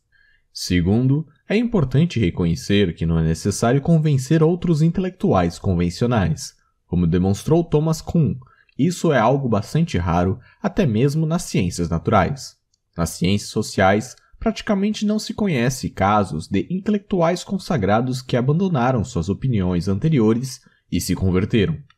Em vez disso, os esforços devem ser concentrados naqueles jovens que ainda não se comprometeram intelectualmente, jovens cujo idealismo também os torna particularmente mais receptivos a argumentos morais rigorosos, e da mesma maneira Deve-se ignorar o mundo acadêmico e se esforçar para alcançar o grande público, isto é, os leigos inteligentes e esclarecidos, o qual, de modo geral, nutre alguns saudáveis preconceitos anti-intelectuais, que podem ser facilmente explorados. Terceiro, retomando a importância de um ataque moral contra o Estado, é essencial compreender que não se pode fazer nenhuma concessão em nível de teoria. É claro que não se deve recusar uma cooperação com as pessoas que possuem opiniões que sejam essencialmente erradas e confusas, desde que os objetivos delas possam ser classificados, clara e inequivocadamente, como um passo correto em direção à desestatização da sociedade. Por exemplo, é correto cooperar com pessoas que pretendem introduzir um imposto de renda uniforme, Fiat de 10%, embora não iríamos querer cooperar, por exemplo, com aqueles que gostariam de combinar essa medida com um aumento em outros impostos, a fim de manter a arrecadação inalterada. No entanto, sob nenhuma circunstância, essa cooperação deve levar a ou ser obtida por meio de uma contemporização dos próprios princípios, ou a tributação é algo justo ou ela é injusta, e uma vez que ela seja aceita como justa, como então será possível se opor a qualquer aumento da mesma? A resposta, logicamente, é que não é possível. Em outras palavras, fazer concessões em nível de teoria, como vemos acontecer, por exemplo, entre liberais moderados como Hayek e Friedman, ou mesmo entre os chamados minarquistas, não apenas denota uma grande falha filosófica, como também é uma atitude do ponto de vista prático inútil e contraproducente. As ideias dessas pessoas podem ser, e de fato são, facilmente cooptadas e incorporadas pelos governantes e pelos ideólogos do Estado. Aliás, não é de se estranhar a frequência com que ouvimos estatistas defendendo o agenda estatista, dizendo coisas como até mesmo Hayek Friedman diz, ou nem mesmo Hayek Friedman nega que isto e aquilo deve ser feito pelo Estado. Pessoalmente, eles até podem ter ficado descontentes com isso, mas não há como negar que suas obras serviram exatamente a esse propósito e, consequentemente, queiram ou não, eles realmente contribuíram para o contínuo e incessante crescimento do poder do Estado. Ou seja, gradualismo ou concessão teórica irá gerar apenas a perpetuação da falsidade, do mal e das mentiras do estatismo. Somente o purismo teórico, com seu radicalismo e sua intransigência, pode e irá resultar primeiro em reformas práticas e graduais, depois no aprimoramento, até finalmente chegar a uma possível vitória final. Desse modo, sendo um intelectual anti-intelectual, no sentido Rothbardiano, o indivíduo não deve se limitar apenas a criticar diversas tolices do governo, ainda que ele possa ter de começar por ela. Ele deve sempre partir desse ponto e ministrar um ataque fundamental à instituição do Estado, mostrando-o como uma afronta à ética e moral. O mesmo deve ser feito com seus representantes, que devem ser expostos como fraudes morais e econômicas, bem como mentirosos e impostores. Devemos sempre apontar que os reis estão nus. Particularmente, o indivíduo jamais deve hesitar em atacar o próprio núcleo da legitimidade do Estado, seu suposto papel de indispensável fornecedor de segurança e proteção. Já demonstrei em termos teóricos o quão ridícula é essa alegação. Como é possível uma agência, que pode expropriar propriedade privada, alegar ser protetora da propriedade privada? Mas tão importante quanto o ataque teórico é atacar também a legitimidade do Estado em bases empíricas. Isto é, trabalhar arduamente sobre o tema de que os Estados, que supostamente deveriam nos proteger, são eles próprios a instituição responsável por 200 milhões de mortes apenas no século XX, mais do que as vítimas de crimes privados em toda a história da humanidade. E esse número de vítimas de crimes privados crimes contra os quais o governo não nos protegeu teria sido bem menor caso os governos de todos os locais e de todas as épocas não tivessem se empenhado continuamente em desarmar seus próprios cidadãos para que eles mesmos, os governos, não encontrassem resistência e pudessem se tornar máquinas mortíferas ainda mais eficientes. Portanto, em vez de tratar políticos com respeito, nossa crítica a eles deveria ser significativamente intensificada quase sem exceção.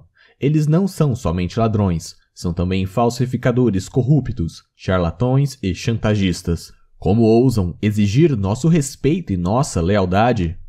Mas será que uma vigorosa e distinta radicalização ideológica trará os resultados desejados? Não tenho a menor dúvida de que sim. De fato, apenas ideias radicais, e na verdade radicalmente simples, podem excitar as emoções das massas inertes e indolentes e deslegitimar o governo perante seus olhos. Quanto a isso, deixe-me usar uma citação de Hayek, e ao fazer isso espero ressaltar também que minha dura crítica anterior a ele não deve ser mal entendida como uma implicação de que não se pode aprender nada com autores que sejam fundamentalmente errados e confusos. Devemos fazer novamente da construção de uma sociedade livre uma aventura intelectual, uma façanha de coragem, Aquilo do que carecemos é de uma utopia liberal. Um programa que não pareça nem uma mera defesa das coisas como elas são, nem um tipo de socialismo diluído, mas um radicalismo verdadeiramente liberal que não cede às suscetibilidades do poder, que não seja tão rigorosamente prático e que não se limite ao que parece ser politicamente possível hoje. Precisamos de líderes intelectuais que estejam prontos para resistir às bajulações do poder e da influência e que estejam dispostos a trabalhar por um ideal, não importa o quão distante sejam os prospectos de sua realização. Eles precisam ser homens que estejam dispostos a se manter fiéis a princípios e a lutar pela aceitação total, não importa o quão remota seja. Livre comércio e liberdade de oportunidade são ideias que ainda podem estimular a imaginação de um grande número de pessoas, mas uma mera liberdade razoável de comércio ou uma mera atenuação de controles não são nem intelectualmente respeitáveis e nem propensos a inspirar qualquer entusiasmo. A menos que possamos novamente tornar as fundações filosóficas de uma sociedade livre em um assunto intelectual vivificante e sua implementação em uma tarefa que desafie a perspicácia e a imaginação de nossas mais vigorosas mentes, os prospectos da liberdade serão de fato tenebrosos. Mas se pudermos recuperar a crença no poder das ideias, que era a marca do liberalismo em seu esplendor, a batalha não estará perdida. Hayek, logicamente, não seguiu seus próprios conselhos e não nos forneceu uma teoria consistente e inspiradora. Sua utopia, conforme desenvolvida em seu Os Fundamentos da Liberdade, é, de certa forma, a desinteressante visão do estado de bem-estar social sueco. Ao contrário, foi Rothbard quem fez aquilo que Hayek reconheceu como necessário para uma nova revolução do liberalismo clássico. E se tem algo que pode reverter a aparente irreversível onda de estatismo e restaurar a justiça e a liberdade, é o exemplo pessoal dado por Murray Rothbard e a divulgação do Rothbardianismo. Apêndice quatro respostas críticas. 1. Um, preferência demonstrada à propriedade privada. O professor Osterfeld, depois de generosamente reconhecer a natureza inovadora da minha defesa a priori da ética da propriedade privada, concentra-se em quatro objeções aos meus argumentos.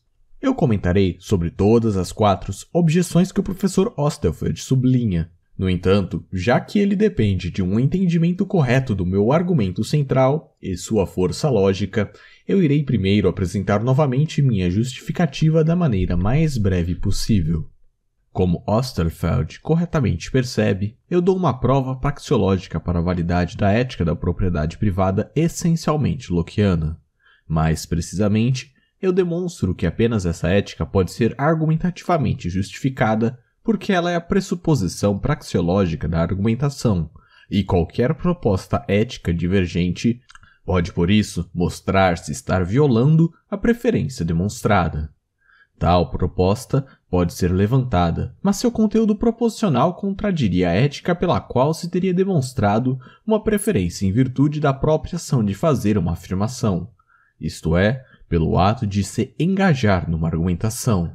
Da mesma forma que alguém pode dizer eu sou e sempre serei indiferente quanto a fazer coisas, embora essa proposição contradiga o ato de fazer uma afirmação, o qual revela preferências subjetivas, dizer isso em vez de dizer outra coisa ou de não dizer nada, propostas éticas deturpadas são falseadas pela realidade de efetivamente propô-las. Para alcançar essa conclusão e entender adequadamente sua importância, dois insights são essenciais. Primeiro, a questão de que é justo ou injusto, o de que é válido ou não, apenas surge na medida em que eu e os outros somos capazes de realizar trocas de proposições, de argumentar. A questão não surge para uma pedra ou um peixe, porque eles são incapazes de produzir proposições com reivindicação de validade. Mas se é assim, e não se pode negá-lo sem se contradizer, pois não se pode argumentar que não se pode argumentar. Então qualquer proposta ética de fato, qualquer proposição, deve ser assumida como reivindicando que pode ser validada por meios argumentativos e proposicionais. Ao produzir qualquer proposição, manifestamente ou como um pensamento interno, demonstra-se a própria preferência pela vontade de contar com meios argumentativos para convencer a si ou a outros de alguma coisa. Não existe, portanto, nenhuma maneira de justificar algo a não ser que seja uma justificação por meio de trocas proposicionais e argumentos. Deve-se considerar a derrota final de uma proposta ética se se puder demonstrar que seu conteúdo é logicamente incompatível com a reivindicação do proponente de que sua validade pode ser verificada por meios argumentativos. Demonstrar tal incompatibilidade equivaleria a uma prova de impossibilidade, e essa prova é letal no campo da investigação intelectual. Segundo, os meios pelos quais uma pessoa demonstra preferência ao engajar-se numa argumentação são os de propriedade privada. Obviamente, ninguém poderia propor nada ou ser convencido de qualquer proposição por meios argumentativos, se o direito de uma pessoa ou ao uso exclusivo de seu corpo físico não fosse pressuposto. Além disso, seria igualmente impossível sustentar a argumentação e contar com a força proposicional do argumento se não fosse permitido apropriar outros bens escassos por meio de apropriação original, colocando-os em uso antes que alguém o fizesse, ou se tais bens e o direito de controle exclusivo relativo a eles não fossem definidos em termos físicos objetivos. Se tal direito não fosse pressuposto, ou se retardatários tivessem reivindicações legítimas sobre coisas, ou se coisas apropriadas fossem definidas em termos avaliativos subjetivos, ninguém poderia sobreviver enquanto uma unidade fisicamente independente de tomada de decisão. Por isso, ninguém poderia jamais levantar qualquer proposição com reivindicação de validade. Assim, ao se estar vivo e formular proposições, demonstra-se que qualquer ética é inválida a não ser essa da propriedade privada. A quarta objeção de Osterfeld afirma que meu argumento é uma instância do naturalismo ético, mas que depois eu entro em conflito com a falácia naturalista de derivar um dever de um ser. A primeira parte de sua proposição é aceitável, mas não a segunda. O que eu ofereço é um sistemático ético inteiro livre de juízos de valor. Eu permaneço exclusivamente no domínio das afirmações factuais e, em lugar algum, tento derivar um dever a partir de um ser. A estrutura do meu argumento é esta. A. Uma justificação é proposicional ou argumentativa, afirmação factual verdadeira a priori. B. A argumentação pressupõe o reconhecimento da ética da propriedade privada, afirmação factual verdadeira a priori. C. Nenhum desvio de uma ética da propriedade privada pode ser justificada argumentativamente. Afirmação factual verdadeira a priori. Assim, minha refutação de todas as éticas socialistas é puramente cognitiva. Que House ou outros socialistas possam ainda defender tais ideias está completamente fora de questão. Que 1 mais 1 seja igual a 2 não descarta a possibilidade de alguém dizer que é igual a 3 nem significa que não se deveria tentar fazer de 1 mais 1 igual a 3 a lei aritmética do mundo. No entanto, isso não afeta o fato de que 1 mais 1 é igual a 2. Em estrita analogia com isso, eu apenas afirmo provar que o que quer que House e outros socialistas digam é falso, e pode ser entendido como falso por todos os homens intelectualmente competentes e honestos. Isso não muda o fato de que incompetência ou desonestidade e o mal possam ainda existir e possam até mesmo prevalecer sobre a verdade e a justiça. A segunda objeção sofre da mesma má compreensão da natureza livre de juízos de valor na minha defesa da propriedade privada. Osterfeld concorda que a argumentação pressupõe o reconhecimento da propriedade privada, mas em seguida ele se pergunta sobre a fonte desse direito. Porém, como se pode levantar tal questão somente porque ele também é capaz de argumentar? Sem argumentação não haveria nada senão silêncio ou barulho sem significado. A resposta é que a fonte dos direitos humanos é e deve ser a argumentação enquanto manifestação da nossa racionalidade. É impossível afirmar que qualquer outra coisa seja o ponto de partida para a derivação de qualquer sistema ético, porque afirmá-lo iria novamente pressupor a própria capacidade argumentativa. Não poderiam os direitos, pergunta Osterfeld, serem derivados a partir de um contrato detrás de um véu da ignorância? Sim e não. Pode haver, é claro, direitos derivados de contratos, mas para um contrato ser possível, devem já existir donos privados e propriedades privadas. Caso contrário, não haveria contratantes fisicamente independentes, e nada sobre o que concordar contratualmente. E não, nenhum direito pode ser derivado detrás de um véu de ignorância, e ninguém vive detrás de tal coisa a não ser zumbis epistemológicos, e somente um zumbi ético hausiano pode ser derivado de trás disso. Podem direitos emergir da tradição a la Rumi e Burke? Claro, eles sempre o fazem, mas a questão da emergência factual de direitos não tem nada a ver com a questão de que se o que existe pode ou não ser justificado.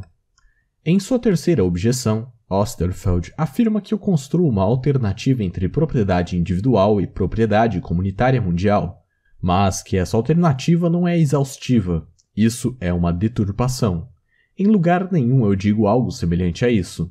Na seção a que Osterfeld se refere, eu estou preocupado com explicar a alternativa inteiramente distinta entre propriedade, enquanto definida em termos físicos e originando-se em pontos definidos de tempo, para indivíduos definidos em contraste com propriedade, enquanto definida em termos de valor e não específica quanto ao seu tempo de origem, e forneço a refutação da última como absurda e autocontraditória. Eu não descarto, de modo algum, a possibilidade de propriedades comunais intermediárias. No entanto, tal propriedade pressupõe propriedade privada individual. Propriedade coletiva requer contratos, e contratos só são possíveis se antes já existirem reivindicações de propriedade adquirida não contratualmente. Contratos são acordos entre unidades fisicamente independentes que são baseados no reconhecimento mútuo da reivindicação de cada contratante individual sobre coisas adquiridas antes do acordo e dizem respeito à transferência desses títulos de propriedade de um dono específico anterior para um dono posterior, ou donos. Quanto à primeira objeção de Osterfeld, eu não escrevi que os objetivos fundamentais da economia política e da filosofia política eram complementares. O que eu disse foi que eles são diferentes. Ninguém tentando responder à pergunta o que é justo está logicamente comprometido com insistir que sua resposta deve também contribuir para a maior produção de riqueza possível. Pelo menos eu não afirmo em lugar algum que tal comprometimento lógico exista. Por isso, não é uma objeção válida às minhas observações sobre as relações entre filosofia e economia política e de que Hobbes, Rousseau e outros sugerem que sistemas políticos não aumentem a riqueza, mas a escassez. Sua alegação de que esses sistemas são justos não pode ser bem feita, e como se constata, a única ética que pode ser justificada ajuda de fato a maximizar a produção de riqueza. Felizmente, isso é uma questão de fato. No mínimo, isso não muda o fato de que a filosofia política e a economia política ocupam-se de questões completamente separadas. Esta, e somente esta, tem sido a tese. Enquanto filósofos políticos como tais não precisam se preocupar com o problema da redução da escassez, a filosofia política e a economia política têm em comum o fato de que, sem escassez, nenhuma dessas disciplinas iria fazer sentido. Não iria existir nenhum conflito interpessoal sobre nada, nem uma questão como quais normas deveriam ser aceitas para se evitarem tais possíveis confrontos. Não é ir além do limite dizer que, Filósofos políticos têm estado invariavelmente preocupados quanto à atribuição de direitos de controle exclusivo sobre bens escassos. Tal é o caso quando um Lockeano propõe aceitar a ética da propriedade privada, e não menos quando um Hobbesiano sugere, ao contrário, fazer de uma pessoa o Führer supremo cujos comandos todos devem seguir. 2. Utilitaristas e randianos versus a razão. Não é possível e nem vale a pena abordar todos os pontos levantados na discussão anterior. Eu irei me concentrar naqueles críticos que se colocaram mais veementemente contra meu argumento, todos eles utilitaristas de pouco valor. Em seguida comentarei brevemente sobre o tipo randiano de reação. Incrivelmente, Friedman, Jager, Steele, Walter, Virka e Jones Acreditam que eu negligenciei o fato de que todas as sociedades são menos que completamente libertárias. Os fatos de que há escravidão, gulag ou de que maridos possuem esposas e etc. E creem que isso de algum modo invalida meu argumento. Por óbvio, eu dificilmente teria escrito esse artigo se minha opinião fosse a de que o libertarianismo já prevalece. Assim, deveria estar claro que foi precisamente esse caráter não libertário da realidade que motivou a mostrar algo bem diferente, porque tal estado de coisas não pode ser justificado. Mencionar fatos como a escravidão como um exemplo, em contrário, é praticamente o mesmo que refutar a prova de que 1 mais 1 igual a 2 apontando que alguém achou 3 como resposta. É quase tão ridículo quanto isso. Para redizer minha afirmação, se algo é ou não verdadeiro, falso ou indeterminável, se foi ou não justificado, o que se exige para justificá-lo, se eu, meus oponentes ou nenhum de nós está certo, tudo isso deve ser decidido no curso da argumentação. Essa proposição é verdadeira a priori, porque não pode ser negada sem ser afirmada no ato de sua negação. Não se pode argumentar que não se pode argumentar, e não se pode contestar saber o que significa levantar uma afirmação válida sem implicitamente afirmar, pelo menos, que a negação dessa proposição é verdadeira. Isso tem sido chamado de o a priori da argumentação, e foi por causa do status axiomático dessa proposição análoga ao axioma da ação da praxeologia que eu invoquei Mises no meu artigo.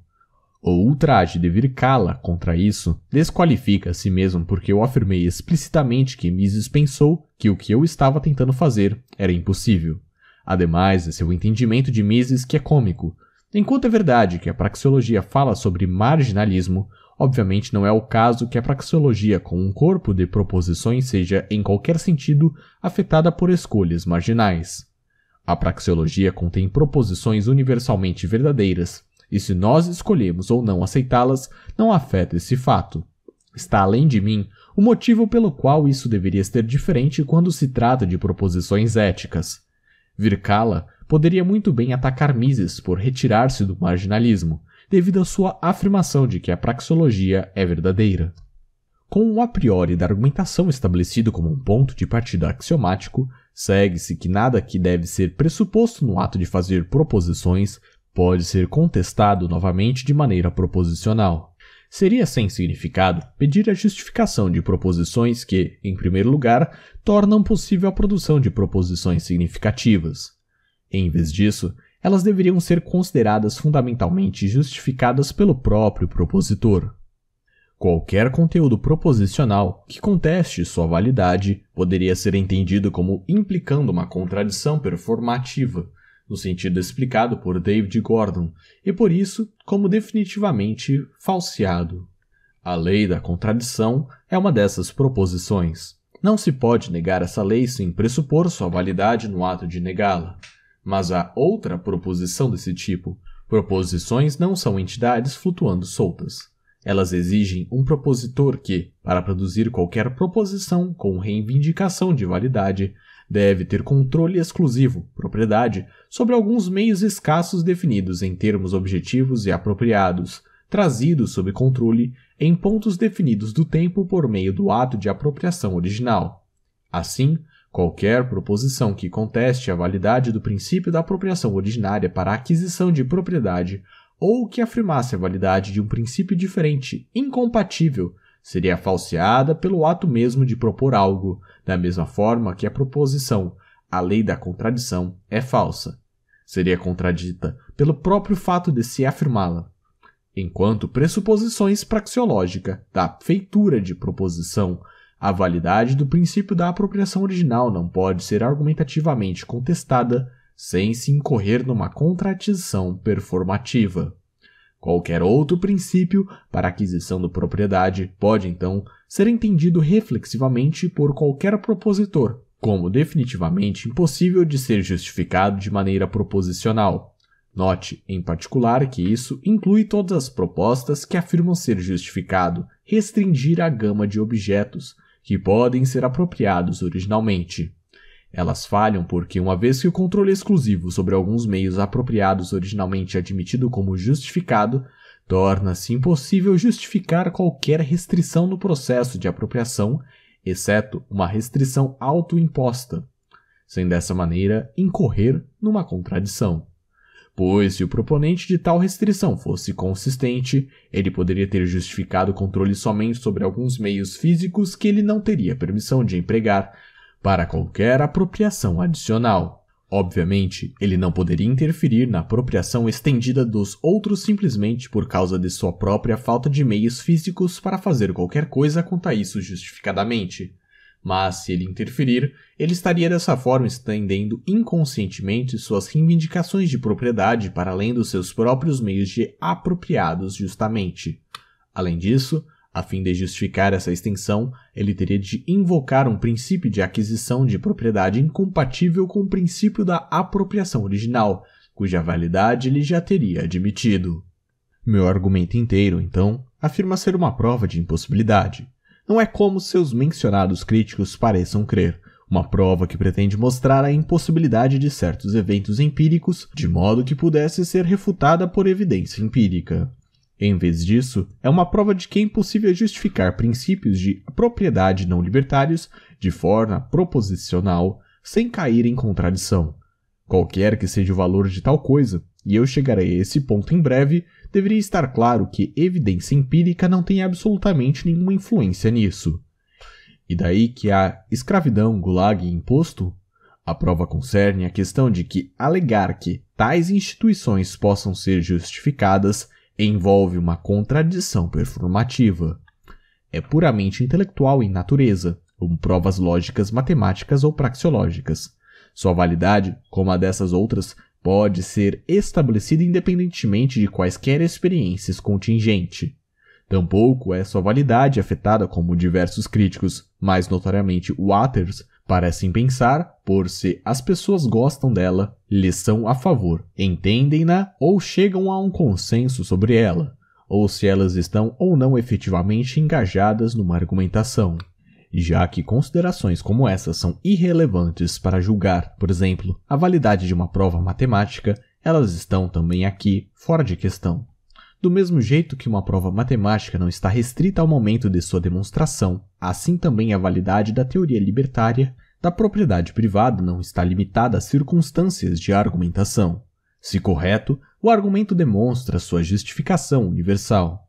De todos os críticos utilitaristas, apenas Stelle aceita o desafio que eu lhes propus, de que a tributação de direitos de propriedade não pode ser dependente de nenhum resultado posterior, porque nesse caso ninguém poderia jamais saber antes do resultado o que estava ou não justificado de se fazer, e de que, ao defender uma posição consequencialista, o utilitarismo não é, estritamente falando, uma ética de modo algum se ela falha em responder à questão decisiva de o que eu posso fazer justificadamente agora? Steele resolve esse problema da maneira como procede ao longo de seu comentário, compreendendo mal o que ele é. Ele interpreta mal meu argumento como sujeito à tese empírica e deturpa-o como afirmando mostrar que eu sou a favor de uma ética libertária, se segue de que eu estou dizendo algo, enquanto na verdade o argumento afirma que, independentemente do que as pessoas venham a favorecer ou preferir, a ética libertária pode-se dar uma justificação proposicional definitiva. Se segue de eu afirmo isso e aquilo serem válidos, isto é, aptos à justificação proposicional. Sua resposta ao problema consequencialista é, porém, outro golpe de gênio. Não diz Stille, o consequencialismo não deve envolver uma ética de espera pelo resultado praxeologicamente absurda. Seu exemplo, certas regras são defendidas primeiro, depois implementadas e depois ajustadas dependendo dos resultados. Enquanto que isso é de certo um exemplo de consequencialismo, eu não consigo ver como isso deve fornecer uma resposta a o que eu posso fazer justificadamente agora e assim escapar dos absurdos de uma ética de espere pelo resultado. O ponto de partida é injustificado. Quais regras? Não só o resultado depende disso. E o procedimento consequencialista é injustificado também. Por que não adotar regras e cumpri-las independentemente do resultado? A resposta de Stelle à pergunta, o que eu posso fazer justificadamente agora, é: isso depende de quais sejam lá as regras com as quais você comece, depois de seja lá qual for o resultado a que elas levarem, e finalmente de se você se importa ou não com o resultado. O que quer que seja, não é uma ética. A reação do lado randiano, representado por Rasmussen, é diferente. Ele tem poucas dificuldades em reconhecer a natureza do meu argumento, mas então me volta a pergunta: e daí? Por que deveria uma prova a priori da teoria libertária da propriedade fazer qualquer diferença? Por que não empreender agressões de todo jeito? De fato, por quê? Mas então, por que deveria a prova de que 1 mais 1 igual a 2 fazer qualquer diferença? Pode-se certamente ainda agir com a crença de que 1 mais 1 é igual a 3. A resposta é óbvia é porque existe uma justificação proposicional para fazer uma coisa e não outra. Em seguida se retrucará, mas por que deveríamos ser razoáveis? De novo, a resposta é óbvia. Primeiro, porque seria impossível argumentar contra isso, e ademais, porque o proponente dessa questão já estaria afirmando o uso da razão em seu ato de questionar. Isso pode ainda não ser suficiente, e todos sabem que não é, pois mesmo se a ética libertária e o raciocínio argumentativo devem ser considerados definitivamente justificados, isso ainda não impede que as pessoas ajam com base em crenças injustificadas, porque elas não sabem, não se importam ou preferem não saber. Não consigo ver por que isso deveria ser surpreendente ou tornar a prova defeituosa. Mais do que isso, não pode ser feito por argumentos proposicionais. Rasmussen parece pensar que, se você puder obter um dever derivado de algum lugar, algo que Jäger alega que estou tentando fazer, embora eu o negue explicitamente, então as coisas seriam melhoradas. Mas isso é simplesmente uma esperança ilusória, pois mesmo se Rasmussen tivesse provado a proposição de se deve ser razoável e deve-se agir de acordo com a ética libertária da propriedade, isso ainda seria apenas outro argumento proposicional. Isso não pode assegurar que as pessoas farão o que devem mais do que pode minha prova garantir que elas farão o que é justificado. Qual é a diferença e do que se trata o rebuliço? Há e continua havendo uma diferença entre estabelecer uma declaração verdadeira e inspirar um desejo de agir conforme a verdade, com ou sem dever. É de certo magnífico se uma prova puder inspirar esse desejo, mas mesmo que não o faça, isso dificilmente pode ser usado contra ela. Também não se subtrai nada ao seu mérito se, em alguns ou muitos casos, algumas afirmações utilitaristas cruas se provassem mais bem-sucedidas do que ela em persuadir qualquer um em favor do libertarianismo. Uma prova continua sendo uma prova. A psicologia social continua sendo psicologia social. 3. Intimidação por argumento. Loren Lomaski ficou intimidado e enfurecido com meu título, Uma Teoria do Socialismo e do Capitalismo, Pois, primeiro, o livro é mais ambicioso do que seu título indica. Não é, ele lamenta, menos que um manifesto por anarquismo desimpedido. Que seja, mas e daí? Como explicado em meu livro, mas convenientemente não mencionado por Lomaski, anarquismo desimpedido não é senão o nome para uma ordem social de direitos de propriedade privada desimpedidos, isto é, de direitos absolutos de autopropriedade e o direito absoluto de apropriar recursos sem dono, de empregá-los para qualquer propósito que se achar cabível, desde que isso não afete a integridade física dos recursos igualmente apropriados dos outros, e de entrar em qualquer acordo contratual que se julgue mutualmente benéfico com outros proprietários. O que é tão apavorante nessa ideia? Empiricamente falando, essa teoria da propriedade constitui o núcleo do senso de justiça intuitivo da maioria das pessoas, e dificilmente poderia ser chamada de revolucionária. Somente alguém defendendo o impedimento dos direitos de propriedade privada se ofenderia, como faz Lomaski, com minha tentativa de justificar uma economia pura de propriedade privada. Porém, Lomaski não está só enfurecido com minhas conclusões. Sua ira é ainda mais agravada porque eu não tento meramente fornecer evidências empíricas para elas, mas uma prova rigorosa, repreende Lomaski, validada pela razão pura e não contaminada por quaisquer possibilidades meramente empíricas. Não é surpreendente que um opositor dos direitos de propriedade privada desimpedidos, como Lomaski, fosse achar esse empreendimento duplamente ofensivo. Porém, o que há de errado com uma teorização a priorística em economia e ética? Lomaski aponta que existem tentativas falhas de construir uma teoria a priori, mas e daí? Isso só se reflete nessas teorias específicas. Ademais, isso efetivamente pressupõe a existência de um raciocínio a priori, no qual a refutação de uma teoria a priori deve ser ela mesma uma prova. Para Lomaski, no entanto, nada senão hipérbole intelectual pode possivelmente ser responsável por abster-se do caminho inferior do empirismo, elevando-se ao invés disso, com Kant e von Mises, pelo reino das necessidades a priori. Um livro sobre filosofia política e economia, portanto, jamais deveria vir com conclusões inequívocas quanto ao que fazer e a que regra seguir. Tudo deveria se deixar vago em um estágio não operacional de desenvolvimento conceitual e ninguém nunca deveria tentar provar nada, mas sim, ao invés disso, seguir a abordagem mente sempre aberta, empirista de tentativa e erro, de conjecturas provisórias, de refutações e confirmações. Tal é para Lomaski o caminho adequado, o caminho inferior e despretensioso pelo qual se deve viajar. Por certo, a maioria dos filósofos políticos contemporâneos parece ter seguido de todos os corações esse conselho no seu caminho para a fama.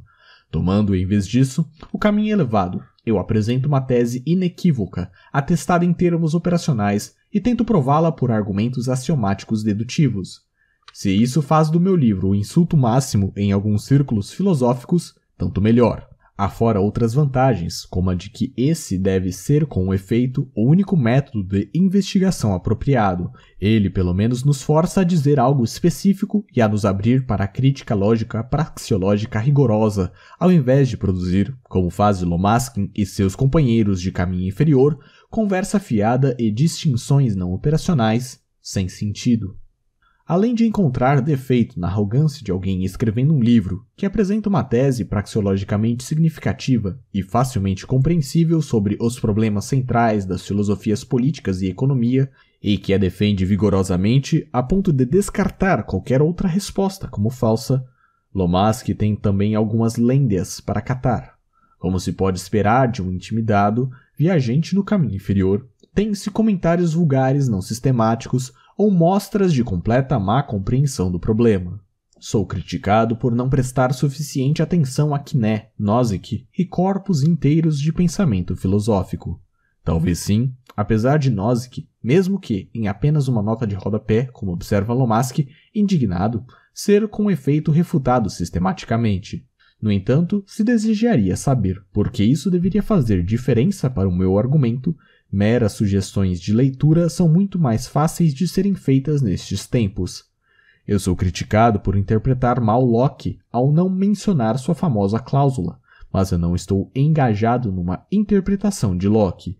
Eu construo uma teoria positiva e, ao fazê-lo, emprego ideias lockeanas. E, assumindo como correta minha teoria em prol do argumento, não pode haver nenhuma dúvida quanto ao meu veredicto acerca da cláusula. Ela é falsa e incompatível com o princípio da apropriação original enquanto pilar central da teoria de Locke. Lomaski não demonstra que é de outro jeito. Ele está irritado com minha dissolução do problema dos bens públicos como um pseudo-problema, sem mais do que mencionar meu argumento central sobre o problema, isto é, de que a noção de classes objetivamente distintas de bens privados versus públicos é incompatível com a economia subjetivista e desse modo deve cair no esquecimento juntamente com todas as distinções baseadas nisso. Ele acha deficientes meus argumentos em prol da tese da eterna otimização dos livres mercados, porque eles devem contar com a assunção da otimização universal das transações voluntárias. Eles devem, de fato. Eu nunca afirmei qualquer outra coisa, porém essa assunção vem a ser verdadeira, de fato, como eu argumento, incontestavelmente verdadeira. E daí? Ou Lomaski está disposto a assumir a tarefa de prová-la falsa? Vês que eu ouso, numa nota de rodapé, criticar Buchanan e Tulloch por linguagem orwelliana, Lumaski se queixa. Ele só se esquece de mencionar que eu dou razões específicas para essa caracterização, entre outras, o uso de noção de acordos e contratos conceituais em sua tentativa de justificar um Estado, quando, de acordo com a linguagem comum, Tais acordos e contratos são não acordos e não contratos. Não contratar significa contratar. De maneira semelhante, para as minhas tão insolentes observações sobre as teorias de propriedade ao estilo de Chicago, eu dou razões. Sua assunção de mensurabilidade da utilidade, por exemplo, que Lomaski simplesmente suprime. O resto concernente à minha teoria da justiça são entendimentos equivocados ou deturpados deliberadamente. A partir da leitura da reconstrução de Lomaski do meu argumento central, em que ele reveladoramente não emprega nenhuma citação direta, ninguém poderia compreender seu principal impulso e estrutura. Sem escassez, não pode haver nenhum conflito interpessoal e por isso nenhuma questão ética. O que eu posso ou não fazer justificadamente? Conflitos são resultado de reivindicações incompatíveis sobre recursos escassos, e não há senão uma maneira de evitar tais impasses, através da formulação de regras que atribuem títulos de propriedade mutualmente exclusivos sobre recursos físicos escassos de modo a tornar possível para agentes distintos agir simultaneamente sem dessa forma gerar conflito. Como a maioria dos filósofos contemporâneos, Lumács não dá uma indicação de que compreendeu o elementar, porém fundamental ponto de que qualquer filosofia política que não seja construída com uma teoria de direitos de propriedade privada falha inteiramente em seu próprio objetivo e assim deve ser descartada desde o início como tolice praxeologicamente sem sentido.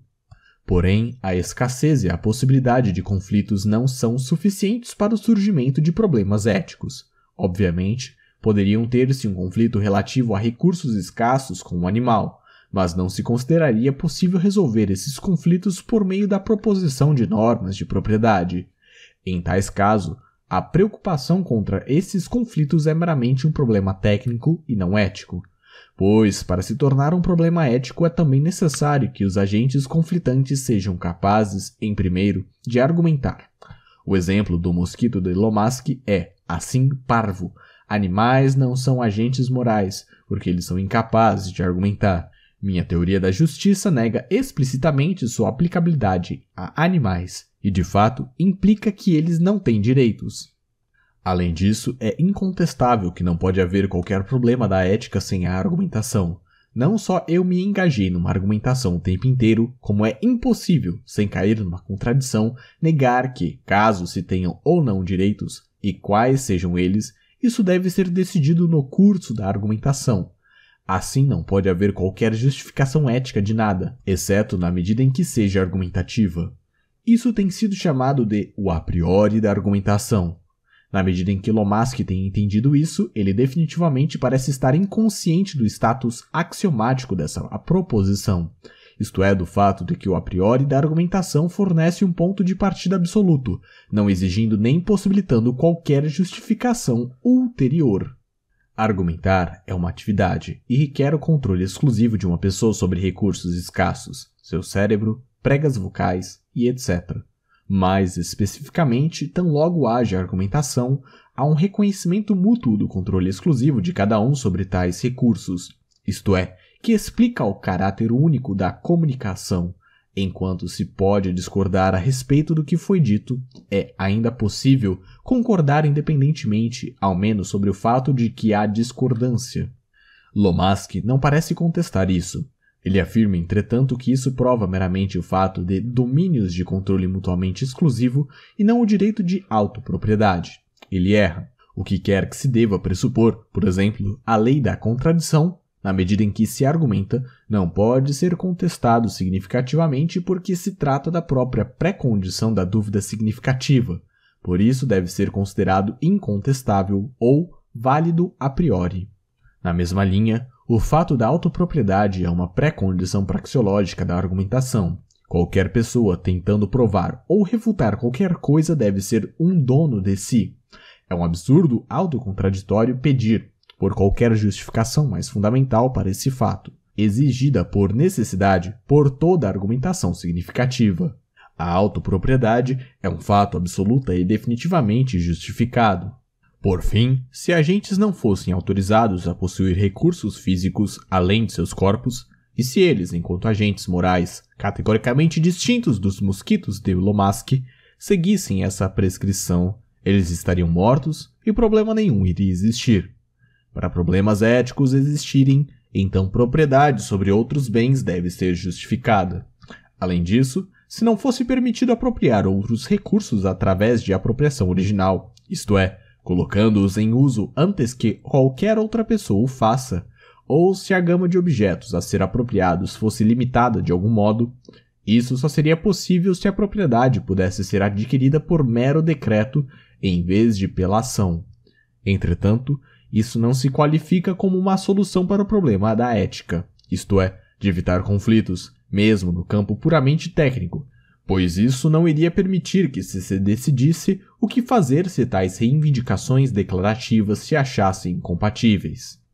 Mais decisivo ainda, seria incompatível com a já justificada autopropriedade, pois se se pudessem apropriar recursos por decreto, isso implicaria que se poderia também declarar-se dono do corpo de outra pessoa. Assim, qualquer um a negar o princípio da apropriação original cujo reconhecimento já está implícito ao se argumentar o respeito mútuo de duas pessoas pelo controle exclusivo uma da outra, contradiria o conteúdo da sua própria proposição através do próprio ato de propor. Por alguma razão, num golpe de gênio, Lomaski encontra defeito no fato de que a primeira parte desse argumento não fornece uma justificação para a apropriação ilimitada. Verdade, mas ela também não alega fazer nada disso, a segunda parte, o argumento a contrário o faz.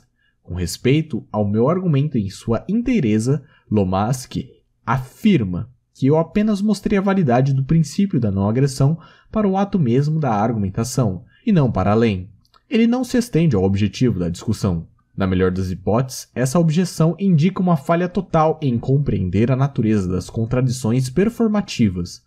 Se a justificação de qualquer coisa é uma justificação argumentativa, e se o que deve ser pressuposto por qualquer argumentação deve ser considerada definitivamente justificado, então toda proposição reivindicando validade, cujo conteúdo seja incompatível com tais fatos definitivamente justificados, é falseada em absoluto por envolver uma contradição performativa.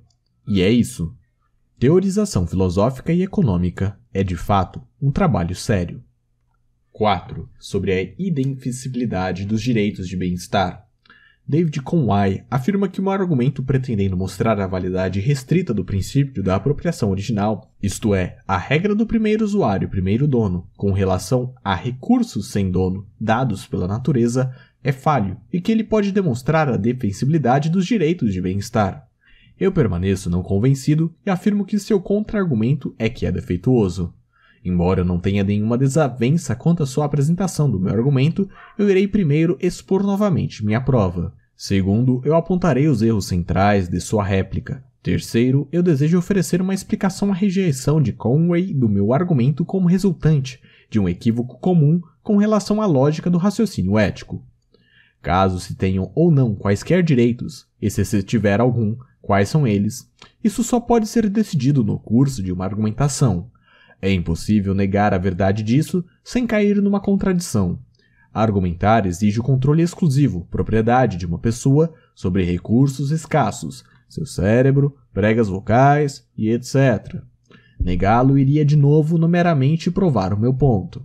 Além disso, uma pessoa deve ter adquirido essa propriedade simplesmente em virtude do fato de que ela começou a usar esses recursos antes que qualquer outra pessoa o fizesse, de outro modo, ela não poderia, para começo de conversa, nunca dizer ou argumentar em favor de nada. Assim, qualquer um que negue a validade do princípio da apropriação original, ao menos com respeito a alguns recursos escassos, iria contradizer o conteúdo de sua proposição através do próprio ato de propor.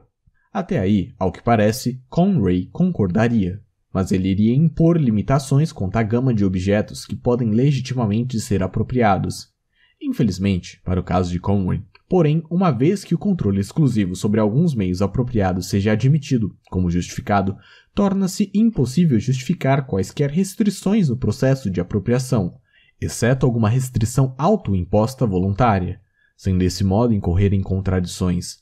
Pois, se o propositor de tal restrição fosse consistente, ele teria controle justificado somente sobre alguns recursos escassos, ainda que limitados que ele não teria permissão para empregar para apropriação adicional.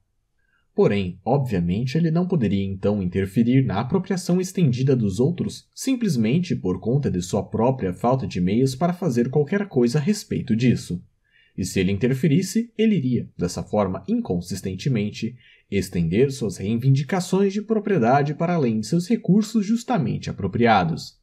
Ademais, a fim de justificar sua interferência, ele teria de invocar um princípio de aquisição de propriedade incompatível com o princípio da apropriação original. Ele teria que reivindicar inconsistentemente que uma pessoa que estende sua apropriação e que o faz conforme o princípio que ninguém pode argumentar ser em geral inválido é, ou pelo menos pode ser, um agressor, ainda que fazendo isso não se pudesse dizer que essa pessoa tomou algo de outrem, porque ele teria meramente apropriado recursos previamente sem dono, isto é, coisas que ninguém até aquele momento havia reconhecido como recursos escassos, e que qualquer outra pessoa poderia igualmente ter apropriado se tivesse apenas reconhecido sua escassez mais cedo. Inclusive, qualquer pessoa como Conway, que estava preocupado com o destino de retardatários e queria preservar esses recursos para o benefício posterior deles. E, além disso, teria de reivindicar também que uma pessoa que interferisse em tal ação e que o fizesse de acordo com um princípio que ninguém poderia argumentar ser em geral válido, está, ou ao menos pode estar, agindo legitimamente. mesmo que ele sempre fosse tomar algo de alguém cujas apropriações não ocorreram às custas de ninguém. O erro central na rejeição de Conway a esse argumento é sua recusa em reconhecer a incompatibilidade lógica entre sua ideia de direitos de bem-estar, por um lado, a noção de que se podem ter reivindicações imponíveis contra apropriadores, e o princípio da apropriação original, por outro. Ou a primeira ideia é correta, ou é a segunda. No entanto, a primeira não se pode dizer correta, porque, para que se o diga, a segunda deve se pressupor como válida. Não pode haver, portanto, algo como um direito à vida no sentido adotado por Conway de um direito a ter sua vida sustentada por outros.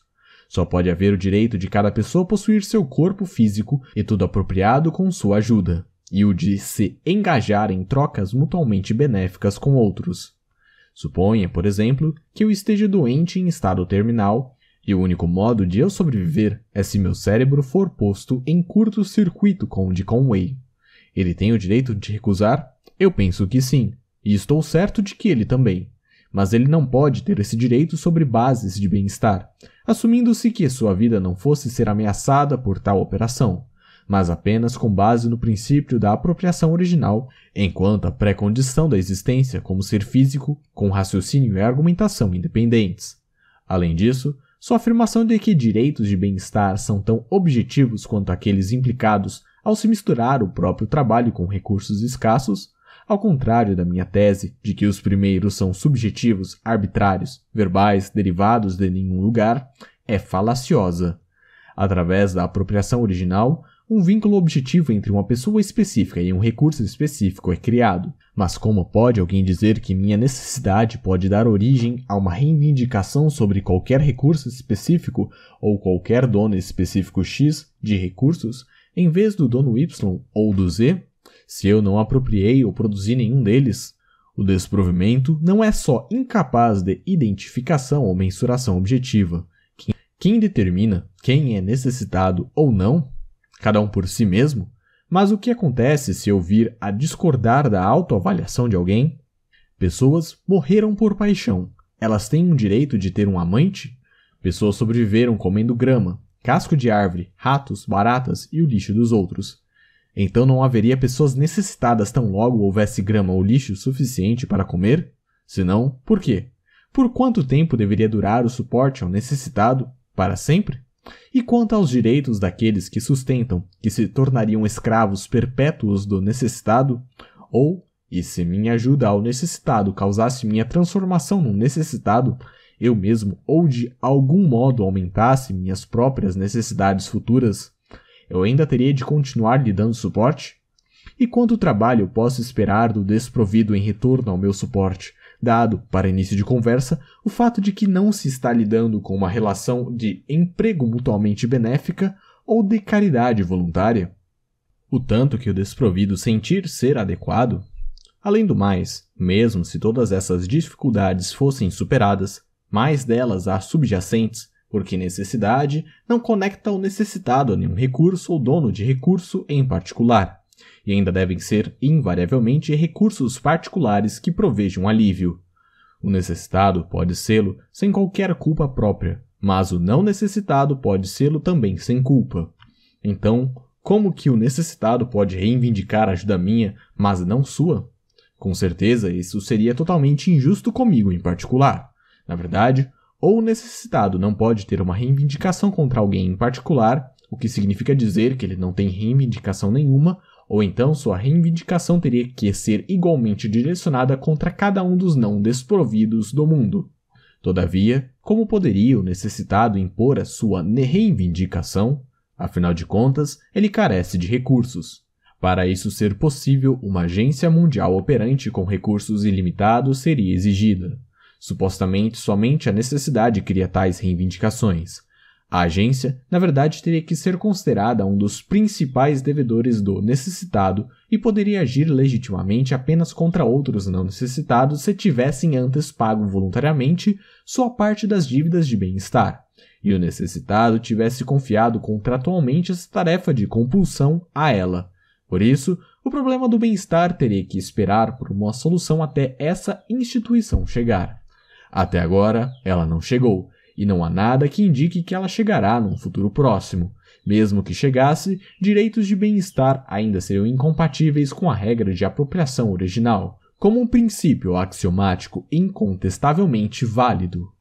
A explicação para a recusa de Conway em aceitar a ética da apropriação original reside numa má compreensão relativa à natureza da teoria ética.